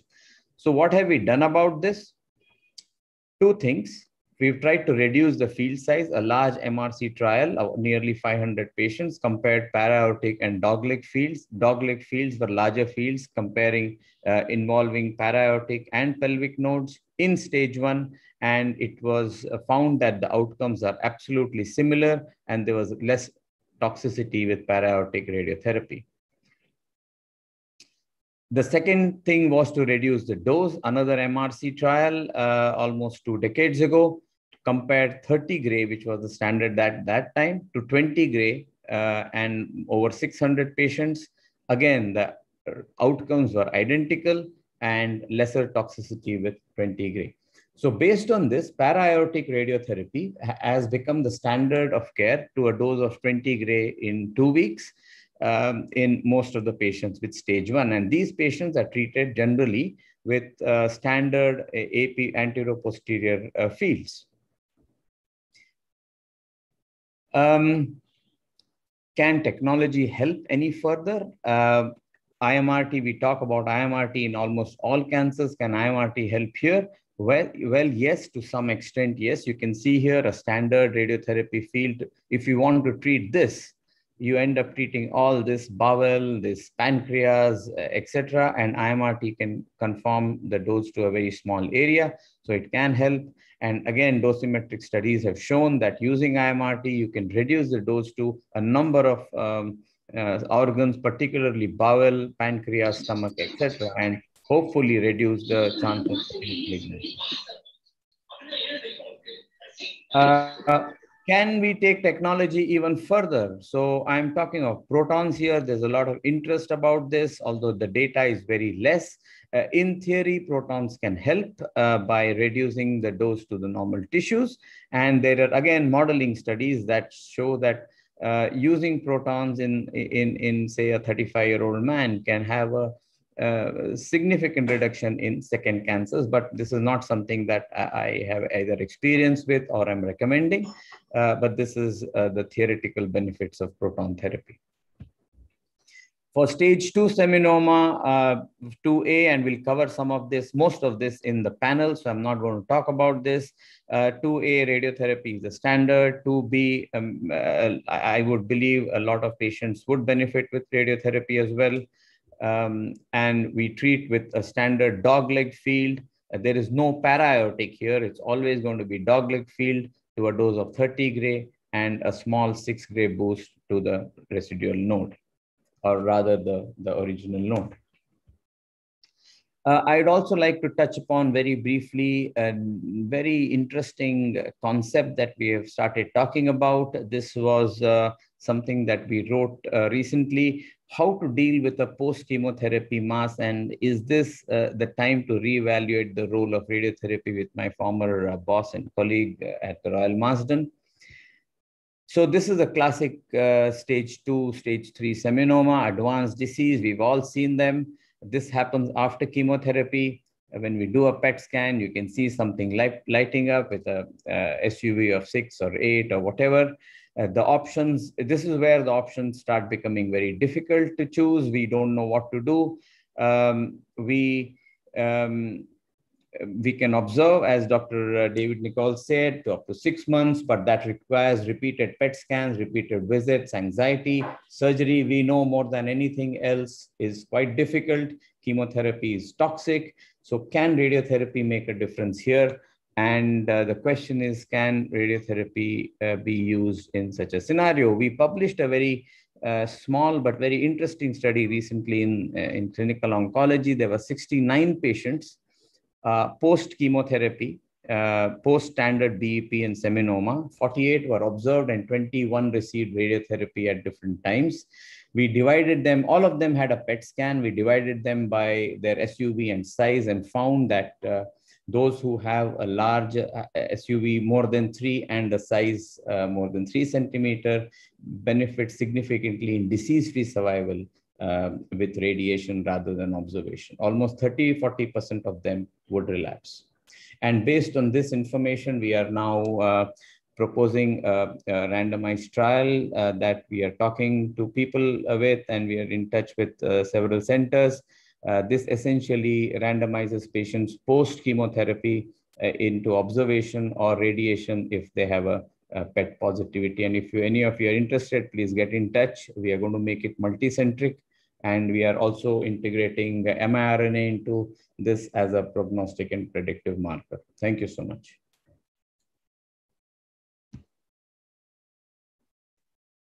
Thank you, Vedang. Uh, uh, you have uh, discussed these issues very, very precisely. And I'm sure you will uh, be there for the panel discussion and there will be lots of questions that will be asked. And now I invite Professor Sandy Srinivas from uh, the uh, University of California from Stanford University. No, you want? Uh, no, sir. I, I, think uh, maybe there's a. So we have Dr. Uh, Ganesh Bakshi's talk. Uh, Professor uh, Ganesh Bakshi. Yeah, he heads the uro-oncology division at Tata Memorial Center, and uh, he sorry. has a talk on survivorship. And following that, we have uh, Dr. Sandy Srinivas. I know we are all waiting and very eagerly waiting for Dr. Sandy Srinivas talk, but no, no I'm sorry. Uh, I'm sorry. I, I yeah, think yeah. there has been some problem in the printout that I have got. I think uh, I missed these. Sorry. So welcome Dr. Ganesh Bakshi, who is Chief of uh, Uro-Oncology at Tata Memorial Hospital. Thank you, sir. Uh, survivorship, survivorship issues. Testicular cancer survivorship issues. Uh, I, I can, uh, people can hear, right? Uh, so yes, people can hear and your slides way. are also there. Yes, sir.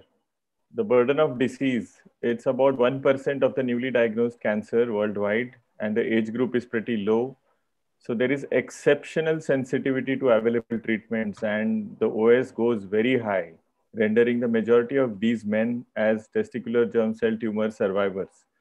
Though, as uh, my previous speaker was also saying, uh, late adverse effects and quality of life issues may remain. So uh, why testicular cancer? Because uh, these survivors are young, they are with usually minimal comorbidities. The average lifespan of treatment is after treatment is long. And we have a long follow-up time and the possibility to expand our knowledge about this survivorship. So uh, some of them are potentially life-threatening, like uh, Dr. Vedang, my colleague mentioned, second malignant neoplasms. The carcinogenic effect from radiotherapy and chemotherapy what uh, testicular germ cell uh, tumors can happen. And there have been very large studies uh, which show two-fold increased risk after chemo radiotherapy and a three-fold increased risk after both modalities. So SMNs after chemo, primarily they are recorded are pharynx, esophagus, lung, bladder, and leukemias. And after radiation, also pharynx, stomach, liver, pancreas, bladder. And there might be some rare ones here, there. But uh, these are a few publications. This is from 2013, solid tumors after chemotherapy or surgery. Now, this was a large SEER-based study and which did show that the SIR of 0.93 for solid tumors uh, versus SIR of uh, 1.43 with chemo. So risk of SMNs is not increased with patients on surveillance vis-a-vis -vis the chemotherapy. If you see the radiotherapy for stage one and two testicular seminomas, the secondary malignancies and survival, this was published in 2017. So uh, a large number, 9,000 plus uh, uh, 7,337 uh, observed. So there is increased relative risk of SMNs 1.84 with radiation. So many other studies have also found increased risk after radiation. And uh, this paper in 2016, second malignant neoplasms and cause of death, a Danish study. So cisplatin-based chemotherapy was associated with cancer of small intestine, lung, kidney, bladder, and malignant melanoma. And the risk of for SMN and death due to SMN were increased after BEP alone, RT alone, or even more than one line of therapies. Uh, Thus, to summarize these uh, chemotherapy and treatment related side effects, the steady reduction in radiation dose and the field size, as uh, Dr. Vedang mentioned, might reduce the risk of SMNs to a certain extent. Small study compared proton and photon beam therapy treatment plans and modeling of SMN risk. Proton beam therapy provided a favorable dose distribution, but no further data is currently available. And the increased risk of SMNs after BEP might be due to direct toxic effect of chemotherapy, residual teratomas after chemotherapy, which over time can transform into various somatic malignancies, and increased risk of SMNs might also be uh, other factors which contribute would be unhealthy lifestyles in uh, adopted by these patients in future. So uh, second is disease. CVD might pose a threat long-term survivors of uh, testicular cancer survivors, as previous studies have indicated highly increased risks of this life-threatening late effect, especially after treatment with platinum-containing chemotherapy. So the risk of CVD and CVD-related mortality after orchiectomy in patients with clinical stage 1 disease has been shown to be equivalent to that of general population.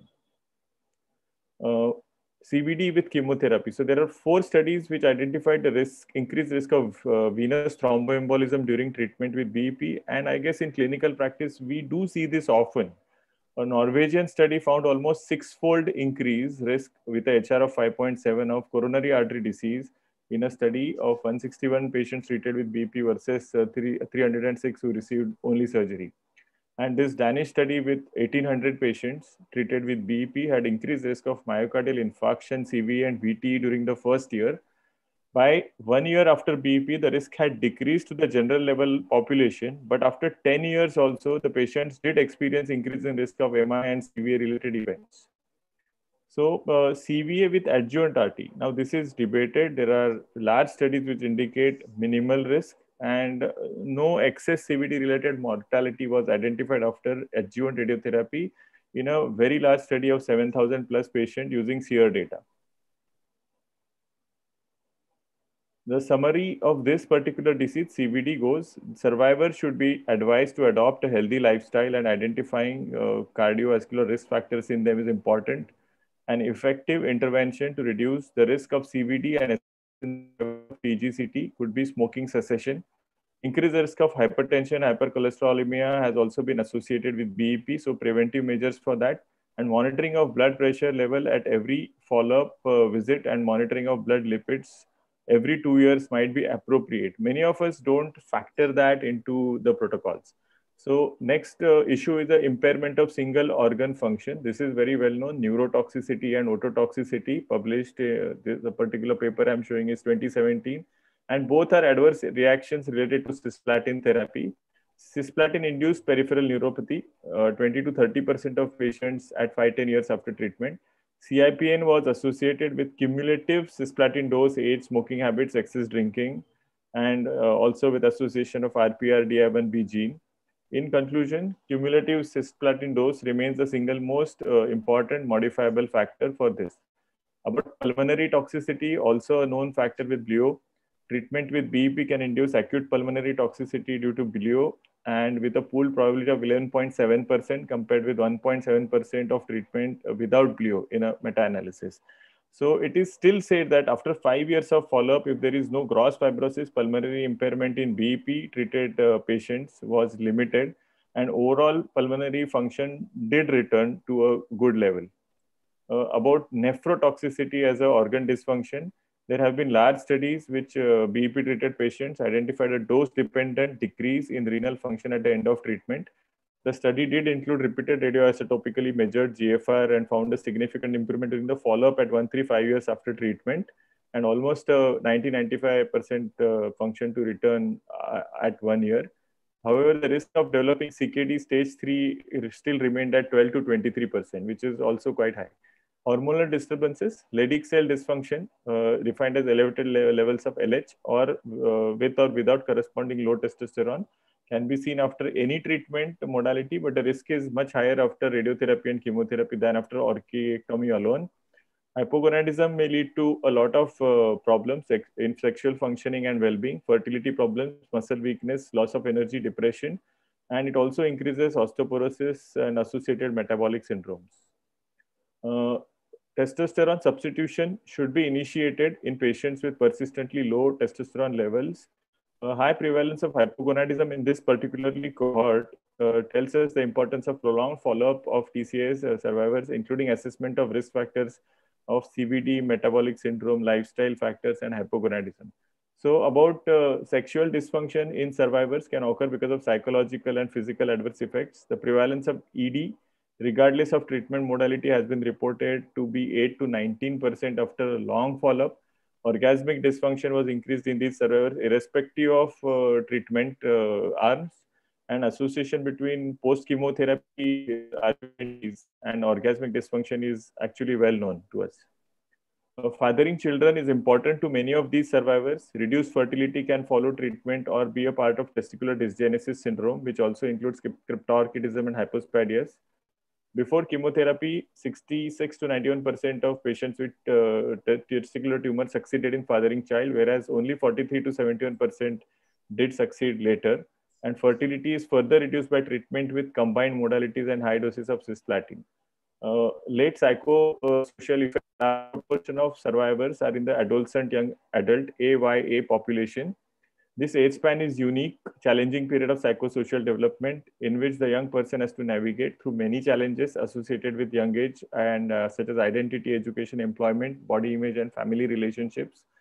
So many survivors do not experience substantial psychological morbidity, but suffer a variety of long-term conditions causing psychological distress like anxiety, fear of recurrence, cancer, fatigue, and uh, cognitive dysfunction the prevalence of this clinically significant depression is also about 5 to 12%.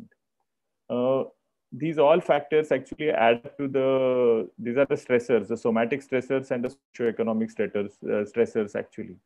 So uh, long-term cognitive function in testicular germ cell tumor survivors, uh, it was observed that there was a significant decline in the GCT survivor reported long-term COGF uh, most significant changes to cognition could be attributed to radiotherapy and chemo with radiotherapy. Causal relations of COGF and radiotherapy to retrorbital nodes is still not clear and remains to be explored. Uh, this actually figure summarizes the topic. There are psychosocial issues, pulmonary toxicity, a big uh, SMN, chemotherapy-induced peripheral neuropathy, ototoxicity, cardiovascular disease, nephrotoxicity, and hypogonadism. Thank you.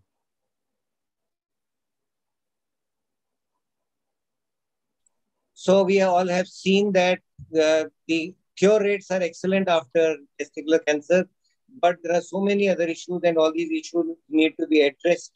And now the emphasis after high cure rates is on actually reducing the morbidity of the treatment.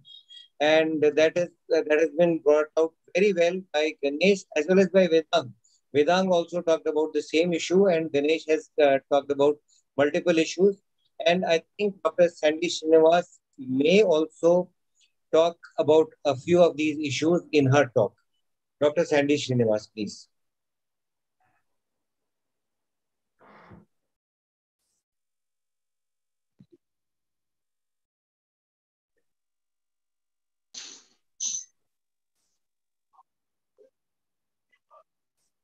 Okay.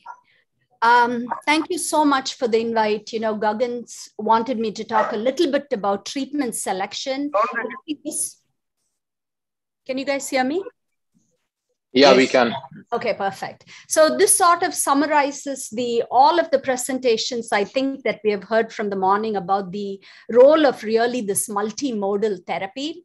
So I'm going to start off very briefly just touching upon how do we select appropriate therapy for the right patient and it really comes down to staging. A few words about staging for testicular cancer which I find very unique in that there are only three stages, unlike most cancers, which go to four. Testicular cancer is stage one, two, and three. And the second thing is that serologic markers are so integrated into the staging. And I think about um, uh, different levels. So S1 really is the most important thing to remember, where you have uh, AFP less than 1,000, HCG less than 5,000, and LDH less than 1.5. At least in advanced cancer, we treat um, good risk different from intermediate and poor risk. So I just remember one out of these three. Moving on. Um, so how do we select? I put two different columns for you. So seminoma and non-seminoma. If you look at stage one, that as we have heard from the speakers this morning, you know, for stage one, we have the option of surveillance, radiation, or use of chemotherapy. And I think it really comes down to compliance. Will patients be compliant if they were to choose surveillance? In the US and in other countries, insurance paying for the costs of scan is an issue. Patients worry about fertility and risk of a second malignancy. And I think there's a lot of patient anxiety that also goes into consideration for which one you would choose. For stage two seminoma, it really comes down between chemotherapy and radiation for uh, early stages, as Dr. Vedang mentioned. And here too, I think the criteria is about the concern for second malignancy. And finally, for stage three patients with seminoma, thing to point out that seminoma, there is no poor risk. There's only good risk and intermediate risk. And the choices are between uh, PB times three for good risk versus uh, eliminating bleomycin and doing four cycles. And for intermediate risk, it would be PB times four versus VIP times four. How do we pick between these? Really, it comes down to patient's age, renal function, whether they have extensive um, disease that will require surgery and exposure to anesthesia. Now, for non seminoma, for stage one, again, there are three choices surveillance, RPLND versus uh, giving one round of chemotherapy. And I think the selection criteria are very similar uh, in terms of seminoma. For patients with stage two, here, unlike uh, in seminomas, there is no role for radiation, and the choice is between RPLND versus chemotherapy. And for advanced disease, here you have good, intermediate, and poor risk, and these are the three choices of chemotherapy. Now, I wanted to talk briefly about chemotherapy toxicity, where uh, the issue with bleomycin really has to do with pulmonary fibrosis, which is what makes a lot of people choose PE times four versus giving PEB. And my selection between VIP versus BEP would be if patients are going to need post chemo RPLND, I'd like to avoid bleomycin in those patients. Unfortunately, neuropathy is a big issue, as we just heard from the uh, last speaker. And neuropathy can happen with many of the chemotherapy drugs that we use in germ cell, cisplatin, paclitaxel, ifosfamide. All of these regimens are associated with neuropathy. I'm going to go now to the IGCCG risk assessment. This is really bread and butter of what we do for patients. The minute they have stage two or stage three, you have to bring in this risk assessment. And this was originally published in 1997 and really takes into divide seminoma and non-seminoma and it takes three things into consideration gonadal or extragonadal primary whether patients have non-pulmonary visceral metastasis and the height of tumor markers. And you can see how they spread out between the two columns. For seminoma, there is LDH has not been taken into consideration, and we'll talk a little bit about the update. Now, to almost two and a half decades later, the IGCCG put together an update. And the goal of this update was really to see if the original one is still holding true and to sort of look at more granular features. So here is the updated IGCCG for non-seminoma. And the first column is the original publication in 1997, which looks at both PFS and OS for the three groups. And the column to your right looks at the new one in 2020. And the bottom line message here is that the validation holds still holds true, number one. Number two, you can see improvements in overall survival in each group, but the group that's really made a big change is the poor risk group. You can see that the PFS has gone from 41% to 54 and the OS has almost increased by 20% from 48 to 67 probably some of the things that we have spoken today all hold true. Multidisciplinary approach using uh, cisplatin based chemotherapy using post chemotherapy rplnd more appropriately having high uh, centers of excellence and uh, following guidelines all probably have contributed to this improvement in survival this is the next slide shows you the updated one for seminoma. Here too, you can see that with the update from 30 institutions from North America, Australia, and Europe, um, there is consistent improvement in overall survival for intermediate risk from 72% to 88%. So definitely have made progress in the last 25 years with uh, testicular cancer becoming uh, one of the most curable cancers. One thing that's interesting in this new update that was seen is LDH. So, as I said, LDH has not been part of the IGCCG. But if you look at a patient here the first curve is a good risk patient, and the one in red is a good risk patient with an elevated LDH. And that patient's outcome almost looks the same as an intermediate risk patient. So, this is an LDH greater than 2.5. So, certainly it is prognostic. Moving forward, I will be looking very closely at LDH in patients with uh, good risk. And I don't think, I mean, as a purist, we are not going to make treatment recommendations based on this. But definitely, it appears that LDH may be able to separate the good risk patients a little bit better. I wanted to finally share with you that there is an um, an uh, calculator that you can use. So briefly, the top one up here looks at a patient who's 28, who has no visceral uh, metastasis and has elevated markers, and his three-year PFS would be around 93%. That same patient, if you now add um, lung metastasis, it drops down to about 89%. So still good, but the presence of lung metastasis also appears to have some uh, difference in uh, prognosis. The one at the bottom is the same patient now who's a little bit older. You can see that as he goes from 28 to let's say 40 years, that drops down to 85%. So this new update definitely gives us a little bit more granularity. So, what are our gaps in our current treatment selection? So, for patients with stage one, there's definitely over treatment in a majority. For patients with stage two, I think the issue of should we choose radiotherapy versus chemotherapy?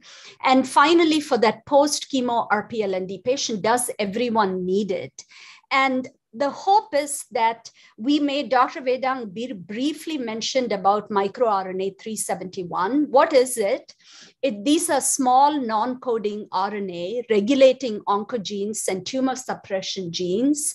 And really, I think there have been multiple very well done studies showing that it is highly specific, has good sensitivity, it's easily available, it's a blood test, it's reproducible, and may come with a cost.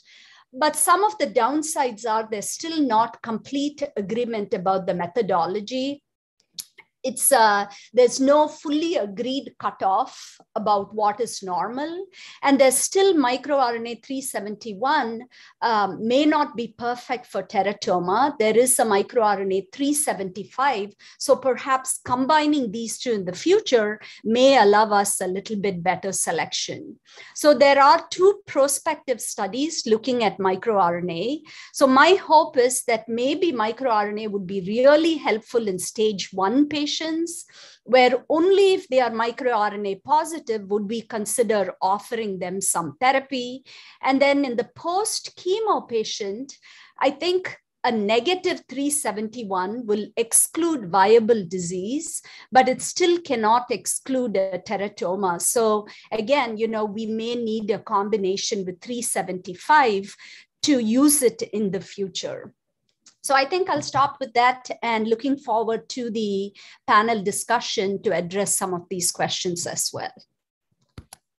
Thank you, Dr. Srinivas. You have uh, done a wonderful job and you have apprised us of the small nuances and what is the latest thinking on IGCC. Are you a part of the IGCC group or uh, yes? You have. Mm -hmm. You are. So we are lucky to have uh, directly from the horse's mouth Thank you very much. And now we look forward to the panel discussion. I hand over to the organizers. Thank you.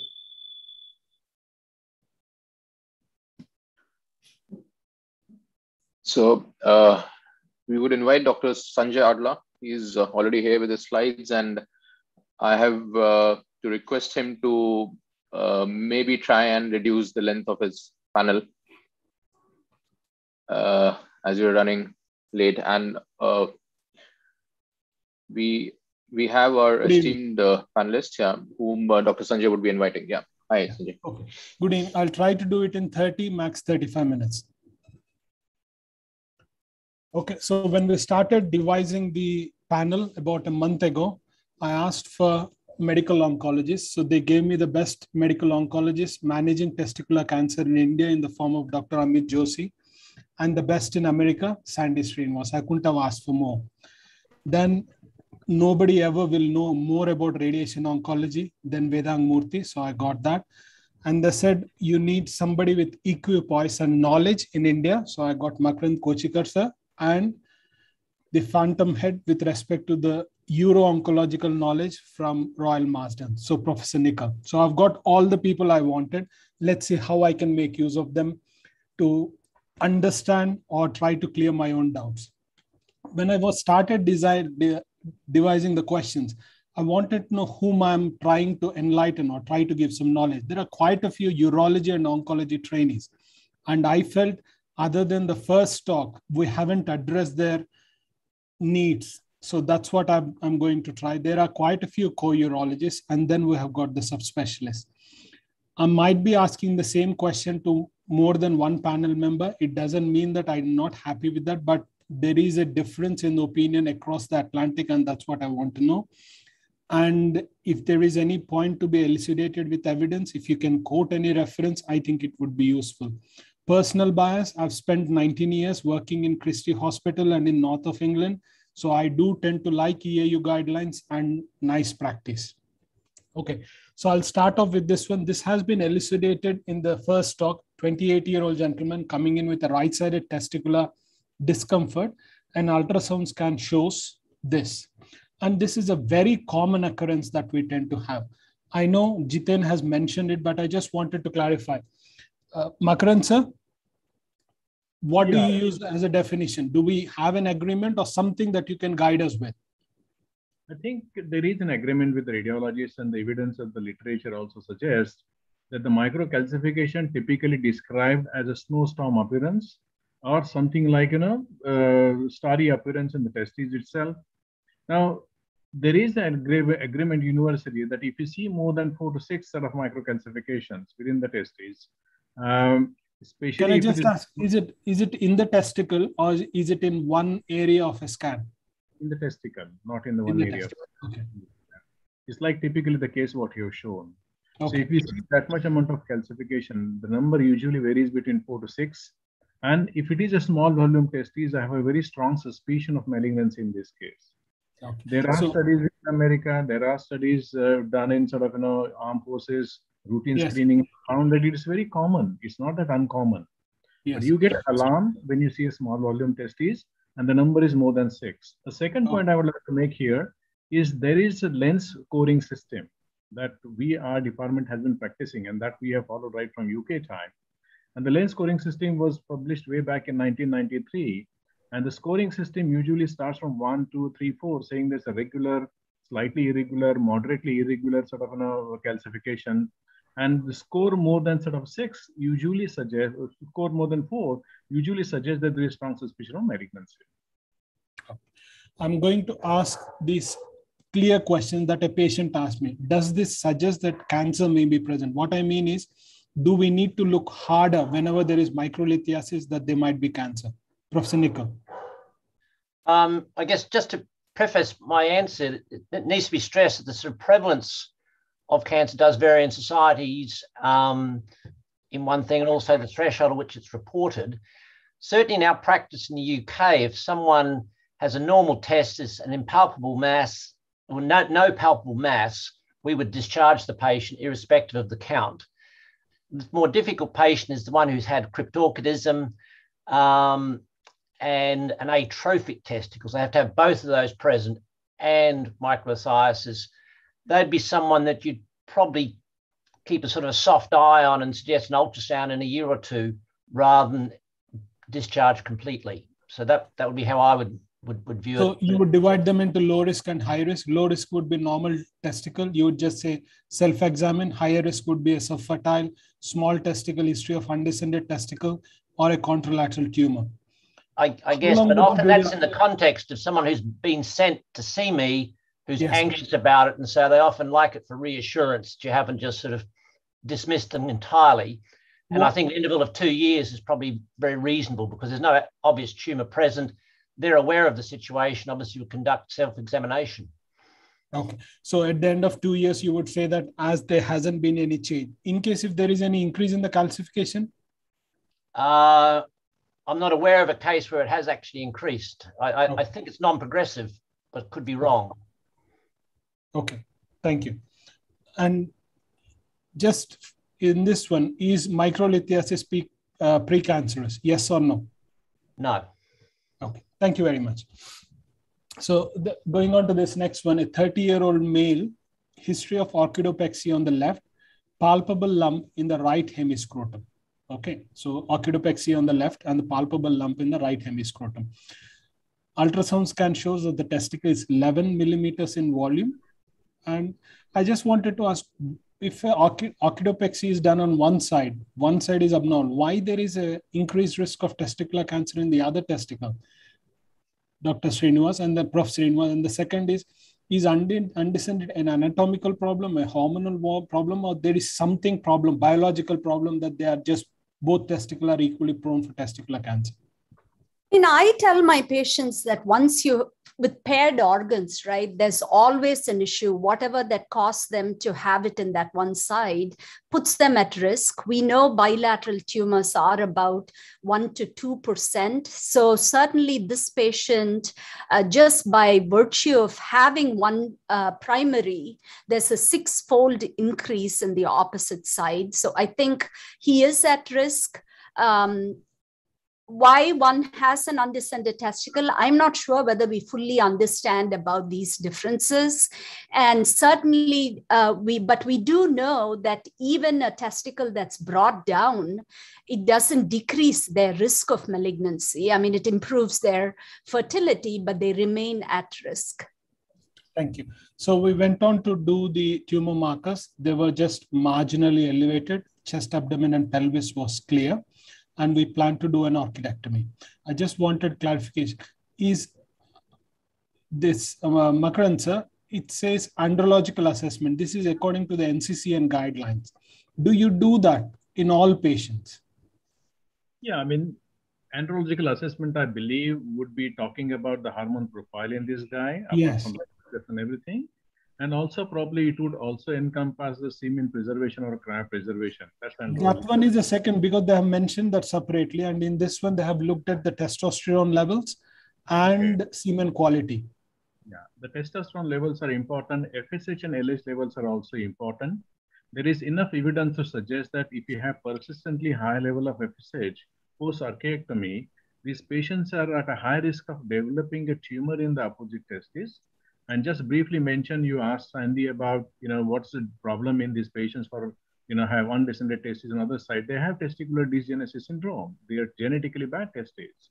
So if you have an FSH assessment done prior to surgery, then you know what's the baseline value. And the higher levels persistent post-op would suggest that these patients probably have infertility, high chance, and also probably a tumor on the opposite testes. I haven't done uh, yeah. uh, testosterone assessments before. So that's a new addition. The, the second is testicular prostheses. Do you yeah. when yeah. do you put them, and do you always offer it to patients? Yeah, in the UK we used to do it immediately at the time of surgery. There's no problem. In India, we give a choice to the patients. Most of the patients from poor economic strata may not be able to afford it. Now, I don't see any reason to do it at a later stage also, but you're gone in, you know the diagnosis, and much more easier to put it at the same time. So you would do it at the time of doing the orchidectomy. Yes. Yes. Thank you. Uh, sperm bank, Amit. Dr. Amit Joshi, is he around? Yes, yes, Sanjay. Okay. Uh, do you, when do you do it and why would you do it? As in, if you were doing it at a certain uh, time point, when would you do it and why would you do it? So the ideal time uh, is to, uh, before going for orchidectomy, but in a remote situation, most of the time we'll end up uh, um, when the patient had undergone orchidectomy and came us for starting the treatment chemotherapy then we discuss so i think in majority of our say around 80% patient it's post orchidectomy so ideally it should be done pre orchidectomy so whatever the uh, uh, um, if there is any volume of uh, semen available in that test that can also be um, um free, frozen for, for future use. Okay Thank you. So you would like to do it before the orchidectomy because there is a decrease in the volume as well as the quality of the sperm following the orchidectomy. Yes, but generally tends tends to end up after the orchidectomy before the second line of treatment. Contralateral yes. testicular biopsy, Prof. Uh, when, why, and how? I mainly want to ask you how. Yes, how would you do? Because there is a variation in the way I used to do them in Christie and what I have read. Whenever you had to do it, how would you do a testicular biopsy? Um, I, I do it on a small subset of patients, I must admit. And yes. I'd normally use a scrotal incision, just take a sample from the upper and lower poles because it can be unevenly distributed in the testis. Okay. I guess the rationale is that if you're doing it, you're doing it to do radiotherapy. And so the whole argument with the lymph channels diminishes and it's less morbid than an inguinal approach. Okay, so you would, and you don't do a true cut. You tend to make an incision through, yeah, uh, open the tunica albuginea and then take a piece of tissue. Yeah, I guess that's sort of more my anxiety about uh, hematoma in what will be a solitary testicle. Okay, but even you were, if you were doing a true cut, you're fine with doing a true cut, or you don't think the quality? No, no, no. no I, I, I, don't have the confidence in it. Me doing it, I'm, I'd be worried about getting a hematoma in a solitary testicle. So, okay. Makaran sir. Yeah, in UK we used to do something uh, at the time. Uh, it was very popular in the Institute of Urology. When you're doing orchiectomy in the inguinal incision, you just make a tunnel on the opposite side and deliver the contralateral testes on that side, and try and do sort of you know whatever you want to do a biopsy. You do sort of an FNAC or you take a biopsy, and then again the whole concept of scrotal violation would would, would not come. So it was. But do you do this? Do you do the same whenever you need it here? Yeah, I do. I do. Okay because in Christie we made a small skin cut in the scrotum and then just did a true cut biopsy, and we did about in upper pole and lower pole, and that was it. And as as uh, Prof. Nicholas said, the reason why you are not that very much worried is you are only trying to diagnose and treat it with radiotherapy. So that's why the field would not. So can I just make a statement saying that doing a scrotal approach for doing a biopsy on a normal testicle, where you're trying to rule out the old style ITGCN, is an acceptable practice. But as Makran sir has said, when you're doing an orchidectomy, if you can access the other testicle through the same incision, that seems to be more oncologically following principles. Agree with that, Prof? I will. I'll try that with my next case. Thank you. And just asking as to when you would do it, whenever there is an uh, atrophic testicle, previous history of cryptorchidism, microlithiasis, and a patient less than 40. Anything else you would like to add to this? Not, no, not, no, that'd be the, the extent of it, really. Okay. Uh, is uh, GCNIS, uh, Vedang, is it pre-cancer or, or is it a cancer? Well, I would call it pre-cancer. Okay. And uh, and the management, I think that's your next question, isn't it? Yes. For a for a solitary uh, testis, single testis uh, with uh, uh, germ cell neoplasia in situ, uh, radiotherapy is the treatment of choice. In brief, uh, the, the dose to be given is about 20 gray in two gray fractions, that is 10 fractions. Uh, the reason for that is with that dose, about uh, there's only about a one to two percent chance of uh, recurrence. Whereas uh, there's a randomized trial that looked at a lower dose of 14 gray, and there was about seven to ten percent chance of a recurrence with that. So although the uh, the the the hypogonadism was uh, lesser with the lower dose, so that is a balance that one has to strike. And your standard fractionation. Yes, two gray fraction. Yes. Two gray fraction. I just wanted to ask, sorry, it's not there in this. What is the amount of androgen deficiency they tend to develop? That's one. And the, they are infertile. I'm uh, expecting those two. So yes, certainly sperm banking, if the semen is normal, has to be done clearly. Uh, and there's about a 20% chance that uh, there would be hypogonadism. 20% chance. Okay. And With just for clarification, yeah. So GCNIS, though you said it's precancerous, but almost all these patients will end up being a cancer if you don't treat them. 50 to 75% will develop cancer. Will, okay. I just I picked up on this sentence that uh, was used in the initial talk. Treating GCNIS does not improve survival. Professor Srinivas, scientist Srinivas, is, can you just elucidate on or uh, expand on it? And I'm not sure about the statement. I think, you know, the rarity of these are just so hard to make a study that has an impact on survival. You know, we know that these will develop into tumors and has to be treated. I don't know if there's been great trials really to demonstrate uh, about the survival issue. Okay. So you would not agree with that.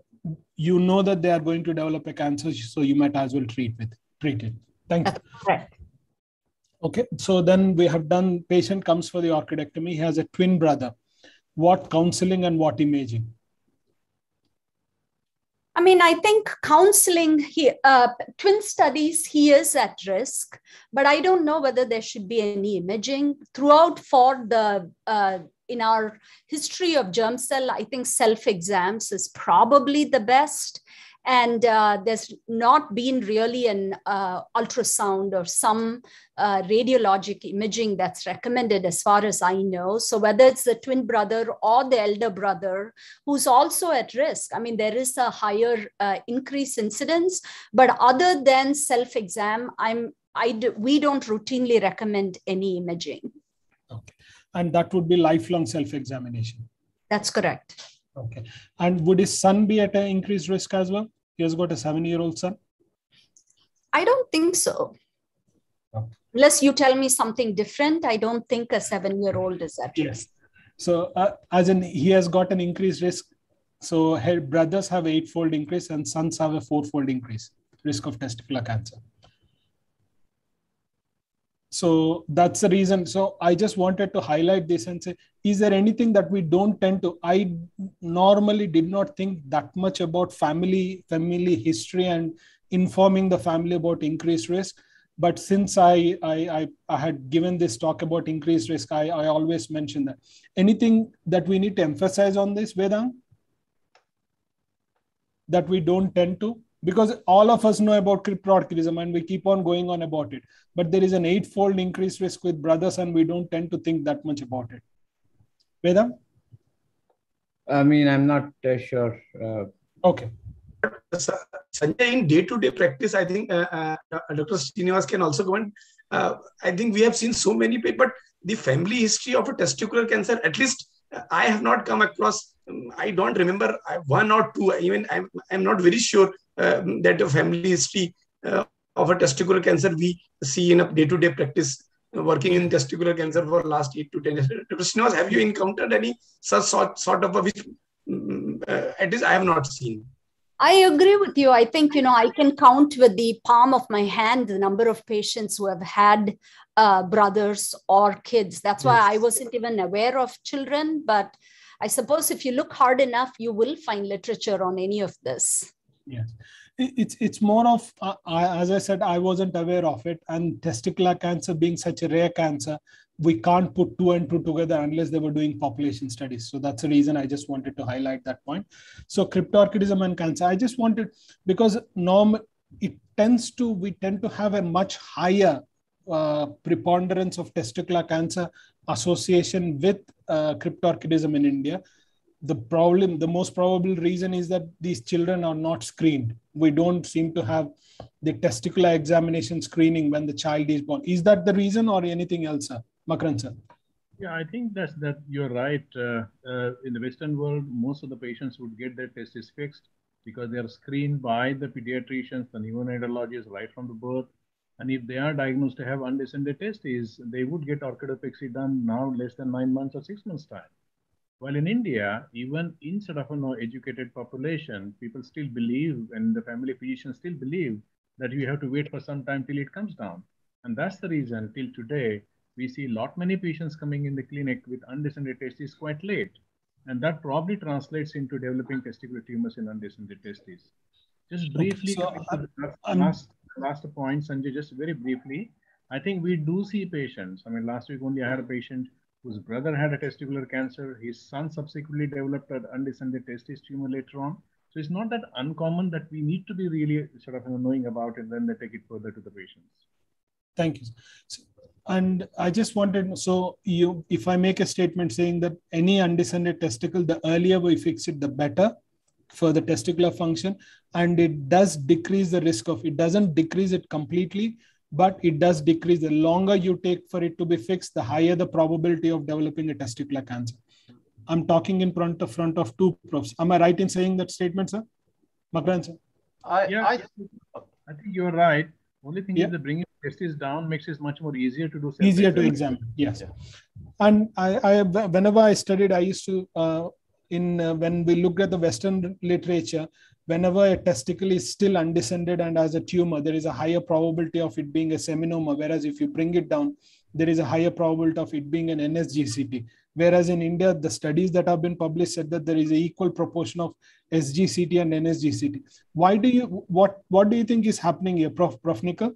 Why do they change the way they uh, the presentation, as in changing from a seminomatous to the non-seminomatous if you have brought it down? Um, I, I honestly don't know. Oh.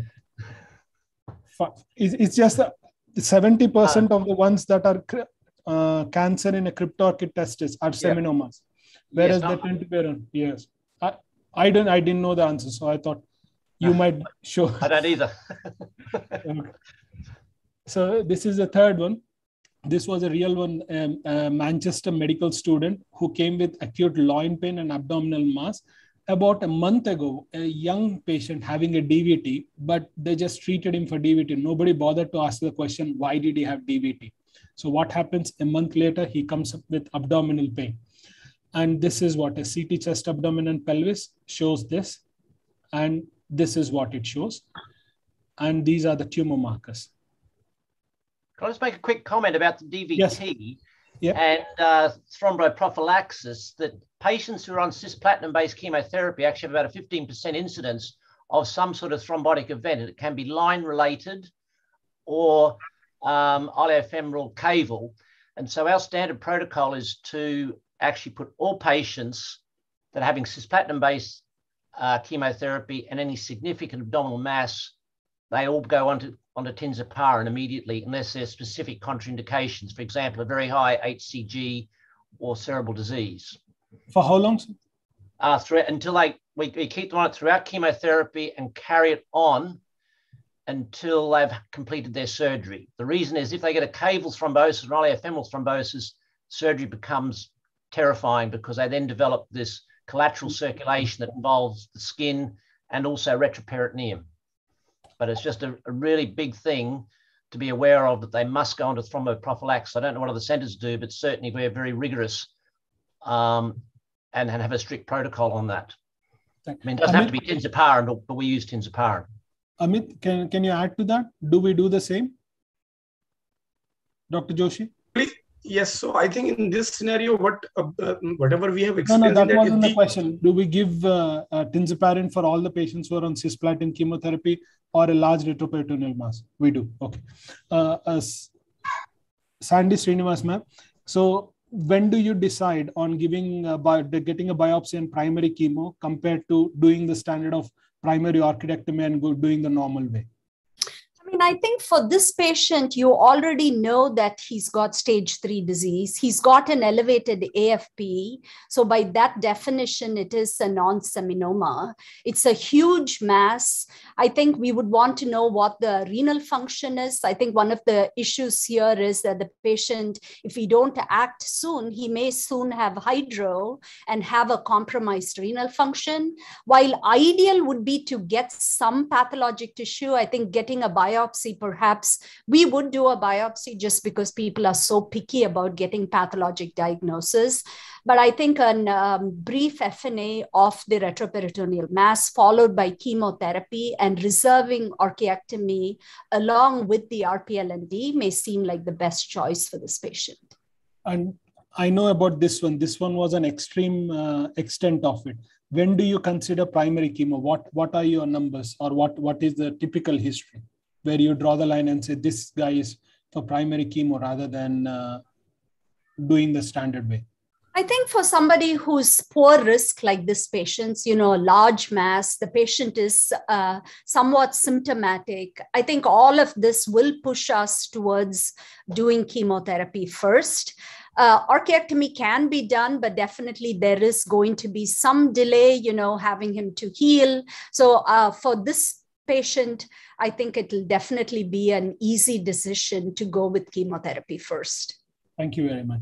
So I just wanted to highlight this one as in there is always a discrepancy between EAU 20, EAU guidelines for the standard guideline that we have used in England. So for us, there was no discrepancy. But India is a half mixture of both NCCN guidelines as well as the EAU guidelines. So depending on which guidelines you use, there seems to be a discrepancy. So I just wanted to highlight and learn from learned people as to say, why do we have this difference of opinion? And where do we stand in the middle? Is there a compromise? So I've just taken this to 2021. What I have overlapped is the standard investigation of choice for a stage one seminoma is a contrast enhanced CT chest, abdomen, and pelvis. That's one. The second part is the offer surveillance as a preferred option or carboplatin, one cycle of carboplatin as a, and both of them have got strong strength rating. The third, do not routinely perform adjuvant radiotherapy. So it is almost a negative one saying don't do it. And adjuvant radiotherapy should be reserved only for highly. Then the third is do not use PET CT or bone scan for staging. So this is from seminoma in the initial stage. So who is for surveillance, Amit, in India? So I think in our practice, uh, the, uh, the at least my threshold for putting a patient in for surveillance is very uh, so I don't because the follow up for these patients in our scenario is very very diff- difficult. So in a in a selected patient who uh, doesn't fall into the so-called risk factor of that is retinal involvement or a tumor No, size I'll, I'll, than I'll, I, I, I, I, I, that wasn't what I wanted. What I so wanted- hardly hardly if you if you want to ask the number it is less than 10% majority of the patient uh, at least in our scenario we uh, uh, give them at least the uh, uh, carboplatin. We because of the logistic and all that, less than 10% patient goes or 10 20% but not beyond that goes for a surveillance even in seminoma so, irrespective of the risk factor anybody who with a stage 1 seminoma because of the logistical problems as well as the compliance issue you would yes. treat them that's what would be yes. Okay. Yes why a negative usage uh, prof nicol i'm asking you because you were one of the co-authors of the guidelines why a negative usage statement are we doing harm by offering these patients radiotherapy I think we're looking we have to separate patients out. And so it's not routinely. So that deviation from the previous reflex response for everyone with stage one to get radiotherapy. I think we've heard about sort of second malignancies. And so it really comes down to who do you select for radiotherapy rather than being routinely used. And so the patients that we would use it in would be someone who would do very, would struggle with systemic chemotherapy with relapse. And so if someone is elderly, they've been um, long-term smoker, they have significant comorbidities, we would argue that in fact the risk of second malignancy is probably diminished in that person compared to the morbidity of not treating the retroperitoneum. So we probably would in someone who's a, a stage stage one um, in that in that group. Whereas with a younger patient, there is the concern because they've got a very long time mm. at which they're exposed to the evolving risks of radiotherapy. So it's really just a qualifier. So I agree, actually, perhaps now that's been highlighted, the wording may not be ideal. Um, so um, I'll, I'll, be looking at that. So it's really just to pick out who, who will be more likely to benefit and won't have the disadvantages to such an extent. Thank you. Then the next one, why PET CT is not indicated? You're saying do not use positron emission tomography. Why so strong statement? Um, I guess it doesn't really add anything to CT scan. And okay. it, the, the difficulty is how do you manage positive results? And so if someone comes in with a testicular cancer, he's got a PET scan with something that's positive, is that going to be a trigger to treat where in fact it's not related to his disease for some reason? So, okay. so it adds to the confusion rather than helping your clinical decision. Exactly. That's the yeah. reason why you said PET CT is not indicated. And when we cross the Atlantic, this is what we get. So stage 1A, 1B, surveillance, single agent carboplatin, and RT. I just wanted to ask for my own understanding of NCCN, uh, Dr. Srini, Prof. Srinivas, is this order of preference, though it is not mentioned? The first preference is surveillance, the second preference is carboplatin, and radiotherapy is the third preference. Is that correct understanding, ma'am? I agree. I mean, I think I uh, the majority of patients would undergo surveillance. I can't remember in the last decade if I've had any patient who's gotten radiation. Okay. Who is the ideal patient for radiotherapy? Veda? In a well, stage one uh, Just the opposite spectrum, as Amit said, uh, we really can't remember uh, only a handful of patients actually who are undergoing surveillance in India. So uh, ideal patient for RT obviously has to have the risk factors, first of all, um, yeah. uh, of relapse. Um, they should be uh, a typical patient who cannot follow up or doesn't understand the nuances of follow up active uh, surveillance. No, no, I uh, wasn't talking about that. I was talking comparing between these two. When right. the patient you want to give either carboplatin or RT, so, you were saying this is a patient that I would like to use RT in a stage one seminoma. I don't think there is a specifically a specific point to choose between the two. I, I, I don't think so. Thank you. Uh, well, I would not give radiotherapy for a few patients if that helps. I would not do it for, say, a horseshoe kidney or patients who have had previous abdominal surgery or uh, some gastric peptic ulcer disease or something like that. But I, there's no other way to choose. Thank you. And this one here, uh, one cycle versus two cycle, Amit. How so, do you choose? So, so there is no one answer to the question. What I usually do, uh, if the patient tolerates first cycle of AUC7 without any complication, without any major uh, uh, toxicity, even even any grade three toxicity, I offer them because the chances of a recurrence of uh, one cycle vis-a-vis two cycle, the, the recurrence rate is further less. So in patients who is motivated, who understands without any complication to first cycle of carboplatin, I usually offer them the second cycle. But Uh, if patient says that I don't want to take uh, uh, uh, second cycle, I don't force them for second cycle. Okay. So, so ideally, you would like to. Can I just say, ideally, you would like to give two cycles, but majority of the time you end up giving one cycle. Am I right in saying that? Yes. Okay. Yes. So, anything to add to that, ma'am? I was just saying that, you know, Raka, with two cycles, you decrease down to 1%. With one mm-hmm. cycle, it's really down to about 3%. So the, uh, the mm-hmm. real true benefit that you get with two is not that great. Okay. Uh, Khochikar, sir? Yeah, I think in Indian perspective, you ask the sequence of sort of the choices, whether surveillance or carboplatin versus RT. I think I will put it in a very simple fashion in India, the patients do not come for regular follow-up. So certainly yeah. you treat these patients.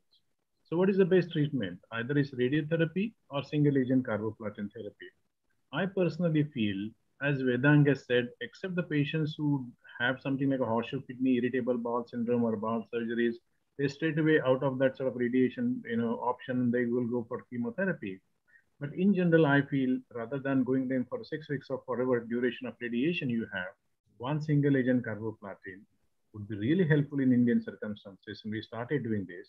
I offer them only one cycle rather than two and follow them uh, quite regularly. You don't have to do vigorous follow-up as like surveillance. And that's the biggest advantage. So my choice is now patients who need it, do it one single agent carboplatin therapy as an adjuvant treatment.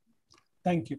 Uh, why don't we use BEP? Let's say the patient has uh, both the risk factors yes size tumor bigger and involvement of the rete testis do you think you would is bep an overkill here ma'am yes okay short answer uh, in in two sentences if you can what does auc7 mean so essentially carboplatin, that's the way it's dosed. You know, it's dosed based on body surface area, the weight, and the creatinine clearance. And AUC is just area under the curve.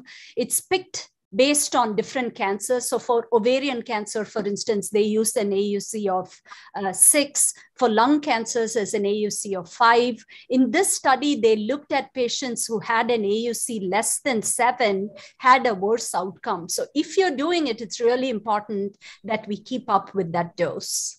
So you mean to say it has to be below AUC 7 or above AUC 7? No, it has to be an AUC of at least 7 at least seven. So yeah. it can be eight, but it has to be at least seven. Am I right in saying that? I don't know about eight. I mean, if you say seven, they come with a price, right? I mean, AUC of eight is going to increase the amount of carboplatin that you give. There's definitely myelosuppression with it. So I think AUC of seven is what we would do if you're choosing to do it. Thank you. Prof. Nicol, you wanted to say something? Uh, no, it was just that some some centres I know use AUC 10 as a prophylactic dose for, for some reason. So, so there is some some variance. In, in the UK, there's a couple of the bigger centres also use that. Okay, thank you. Vedang, when I'm shifting to the next one, what, what did you uh, want I to say? just wanted to ask Sandy and Amit maybe to uh, uh, highlight the importance of uh, calculating the GFR uh, properly while calculating the dose of uh, carboplatin. I mean, that can also affect what dose and how you how effective the treatment finally is. Right. I mean, the calculation for AUC does take into consideration what the GFR is, and then you have to add 25 to GFR and then multiply it by what AUC you want. So, part of A, when you say AUC 7, it takes that whole thing into consideration. Thank you. I would uh, skip the first question because Amit has already answered. Why is there no histological grading, ma'am, for testicular tumors? As in high grade, low grade, intermediate grade? Actually, that's a good question. You know, I mean, I honestly don't know. I've never seen that being done. It's so, um, I think just grading as low grade, intermediate grade, and high grade probably is irrelevant for primary orchiectomy. Hmm think what I feel personally is I think the subtypes are more important rather than the grade itself. You know, the, how much is the component of embryonal cell carcinoma? How much is the yolk sac tumor? How much is like an mixed cell tumor? That matters more, the quantification. And obviously the MIB index and other things are more important than the uh, grades. Uh, and, so probably uh, it's a much more heterogeneous and more than one cell origin. That's the reason yeah. we tend to don't tend to have the grading. Okay, thank you. So I'll just uh, NSGCT stage one. So here, I just want to know, uh, Amit, if you had a patient, I know you don't tend to have them on surveillance, but you had a patient of stage one seminomatous germ cell tumor and a non-semin, which one are you worried about more? I think I think the patient is put on a surveillance. I think the NS seminoma may have a more protected course, but in NSGCT, if you are keeping a patient on surveillance, we have to be more uh, vigilant. We have the for the surveillance is more um, uh, um, uh, at less interval, uh, more rigorous. So I think for NSGCT, uh, we are more worrying rather than the seminoma. Okay, so that's what we are worried about. And I've asked this question again. So this is the order of preference according to the N- NCCN guidelines. And Prof. Nicol, do you do this often? Primary RPLND, clinical stage one? Uh, for germ cell tumors, incredibly rarely. Okay. Without the, the features that I mentioned. Um, yes, yes. But, but, but for germ cell tumors, the test is unless they've got PNET or something else nasty in them, no. Okay. And uh, Vedang, which one do you think will have a better outcome? Do you do any primary RPL? And I know there will be exceptions, but do you offer at the outset in this order, i.e., without risk factors in this order? Uh, well, very few. I think we most of the patients with stage one NSGC go for uh, BEP. I think the order Sanjay is reversed. It is one BEP followed yeah. by and then surveillance. So in the reverse order. Yeah, yeah, it's pretty much uh, reverse. Okay. we are running behind schedule. Uh, Thank you. Okay, we are done. There are two two more uh, slides, then we are done. So in this one, what is SOC with respect to stage two seminoma, chemo or RT? I mean, I prefer um, chemotherapy. I think it's much easier to do chemotherapy. It would be a shame for that patient to have had radiation and then relapse in the lung because that definitely increases, you know, to do radiation and then add chemo. So I prefer chemotherapy, but certainly NCCN guidelines would have for 2A, RT would be the preferred treatment. Yes. And well, uh, if I may, uh, Sanjay, I think uh, for 2A, certainly a two centimeter tumor in the retroperitoneum or a one and a half centimeter tumor uh, three BEPs, I think, is just too much. We have seen the sequelae that happen. I mean, it is not an easy treatment. If it was one or two carboplatins, I would have said, okay, fine, please go ahead. But uh, I think uh, the burden of uh, second malignancies and late uh, sequelae should not be only carried by radiation. There's enough happening there with certainly with three BEPs. So I would strongly recommend to go with uh, i mean i i would believe that uh, strongly not just because I, am a radiation oncologist okay I, I just wanted a sentence from sandy is 3 bep equivalent to 4 ep ma'am? Yes. Or you would always prefer 3 bep unless you could not give the b then you come to 4 ep I prefer 3 BEP because I think, you know, the increased platinum, that's another 100 of platinum for the fourth cycle. There's another uh, etoposide that definitely increases the risk of leukemias. So if I can get by with 3 BEP, that would be my first choice. Okay. Thank you very much. And I think this question has been answered. Prof. Nicol and uh, Makran sir, is marker negative stage 2A NSGCT the best indication for primary RPLND currently? Um, still, we haven't. Sorry, still we haven't heard much about it. We don't have much evidence about it, but it's very exciting. You know, doing that uh, marker test as such. Um, the future will tell us. But in, in my experience, I personally feel the RP RPLND is probably primary aspirin is an overkill. Uh, it's a bigger operation, challenging, other complications. Why not give them, you know, one dose of chemo and that's it, you know, and reduce the frequency of follow-up. Prof. David, so, so we're, we're, we're, talking about clinical stage two, non-seminoma. Yes, non-seminoma, marker uh, negative. Well, I, I personally believe that if it's if it's marker negative, and the exception would be a mixed germ cell tumor comprising purely embryonal carcinoma and seminoma, or pure embryonal carcinoma. But outside that, I think it's it's a prime indication because you're otherwise going to subject patients who may have teratoma that's not going to respond to chemotherapy and they're exposed to three cycles of, of BEP. And so they can end up with all sorts of ringing in their ears, numb feet, and other toxicities when in fact they actually needed surgery from the outset. They've got Thank small volume disease by definition. And so even if they've got malignant disease, you can then go back and treat them with adjuvant chemotherapy with one or two cycles of BEP. So, so you agree with this statement? If there was an Yes. indication for primary that's one. And second, uh, this is the last question. Expression of marker is it an indication of aggressive nature, or they sent because here, if you just look at it, there comes chemotherapy, there comes surgery. Is it an indication of chemosensitivity or non-functioning of surgery?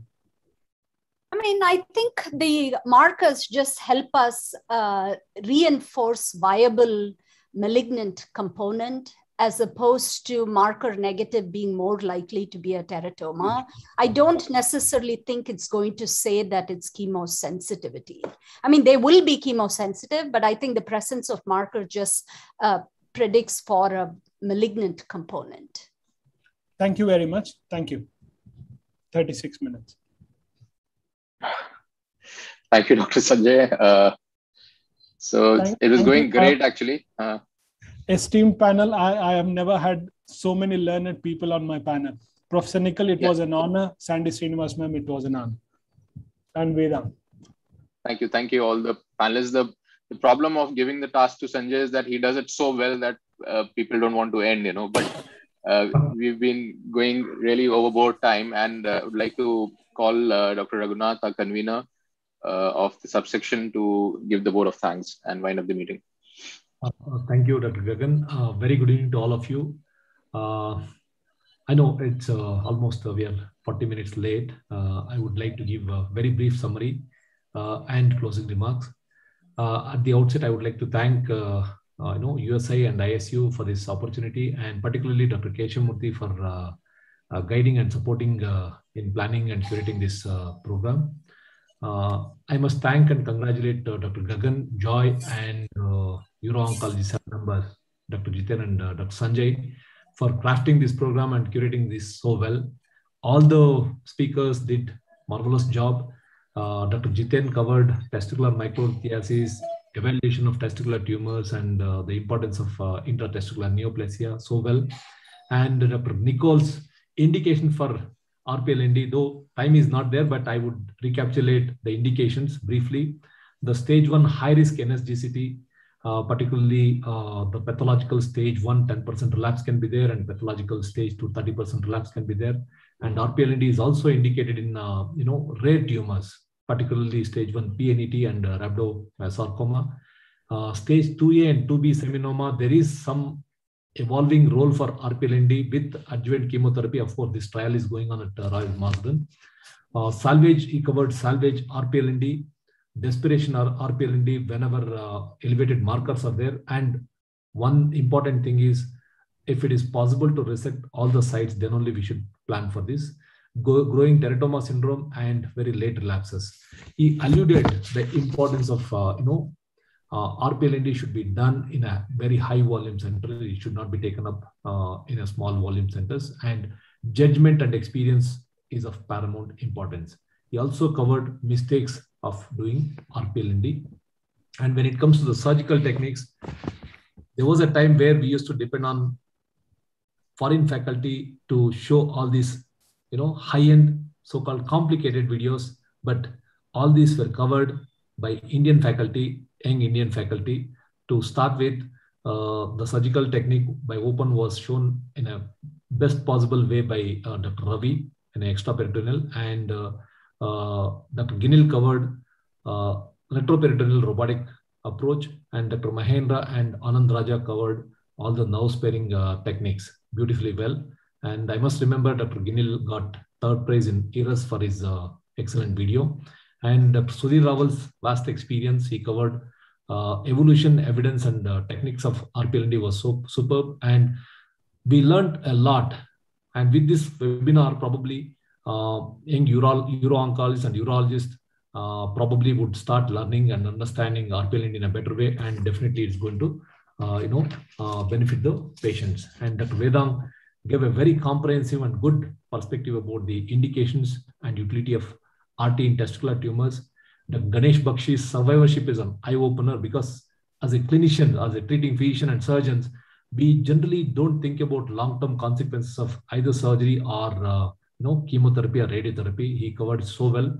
Uh, Dr. Sandy uh, Srinivas, uh, treatment selection uh, based on IGCCCG uh, risk stratification and role of mRNA was very precise.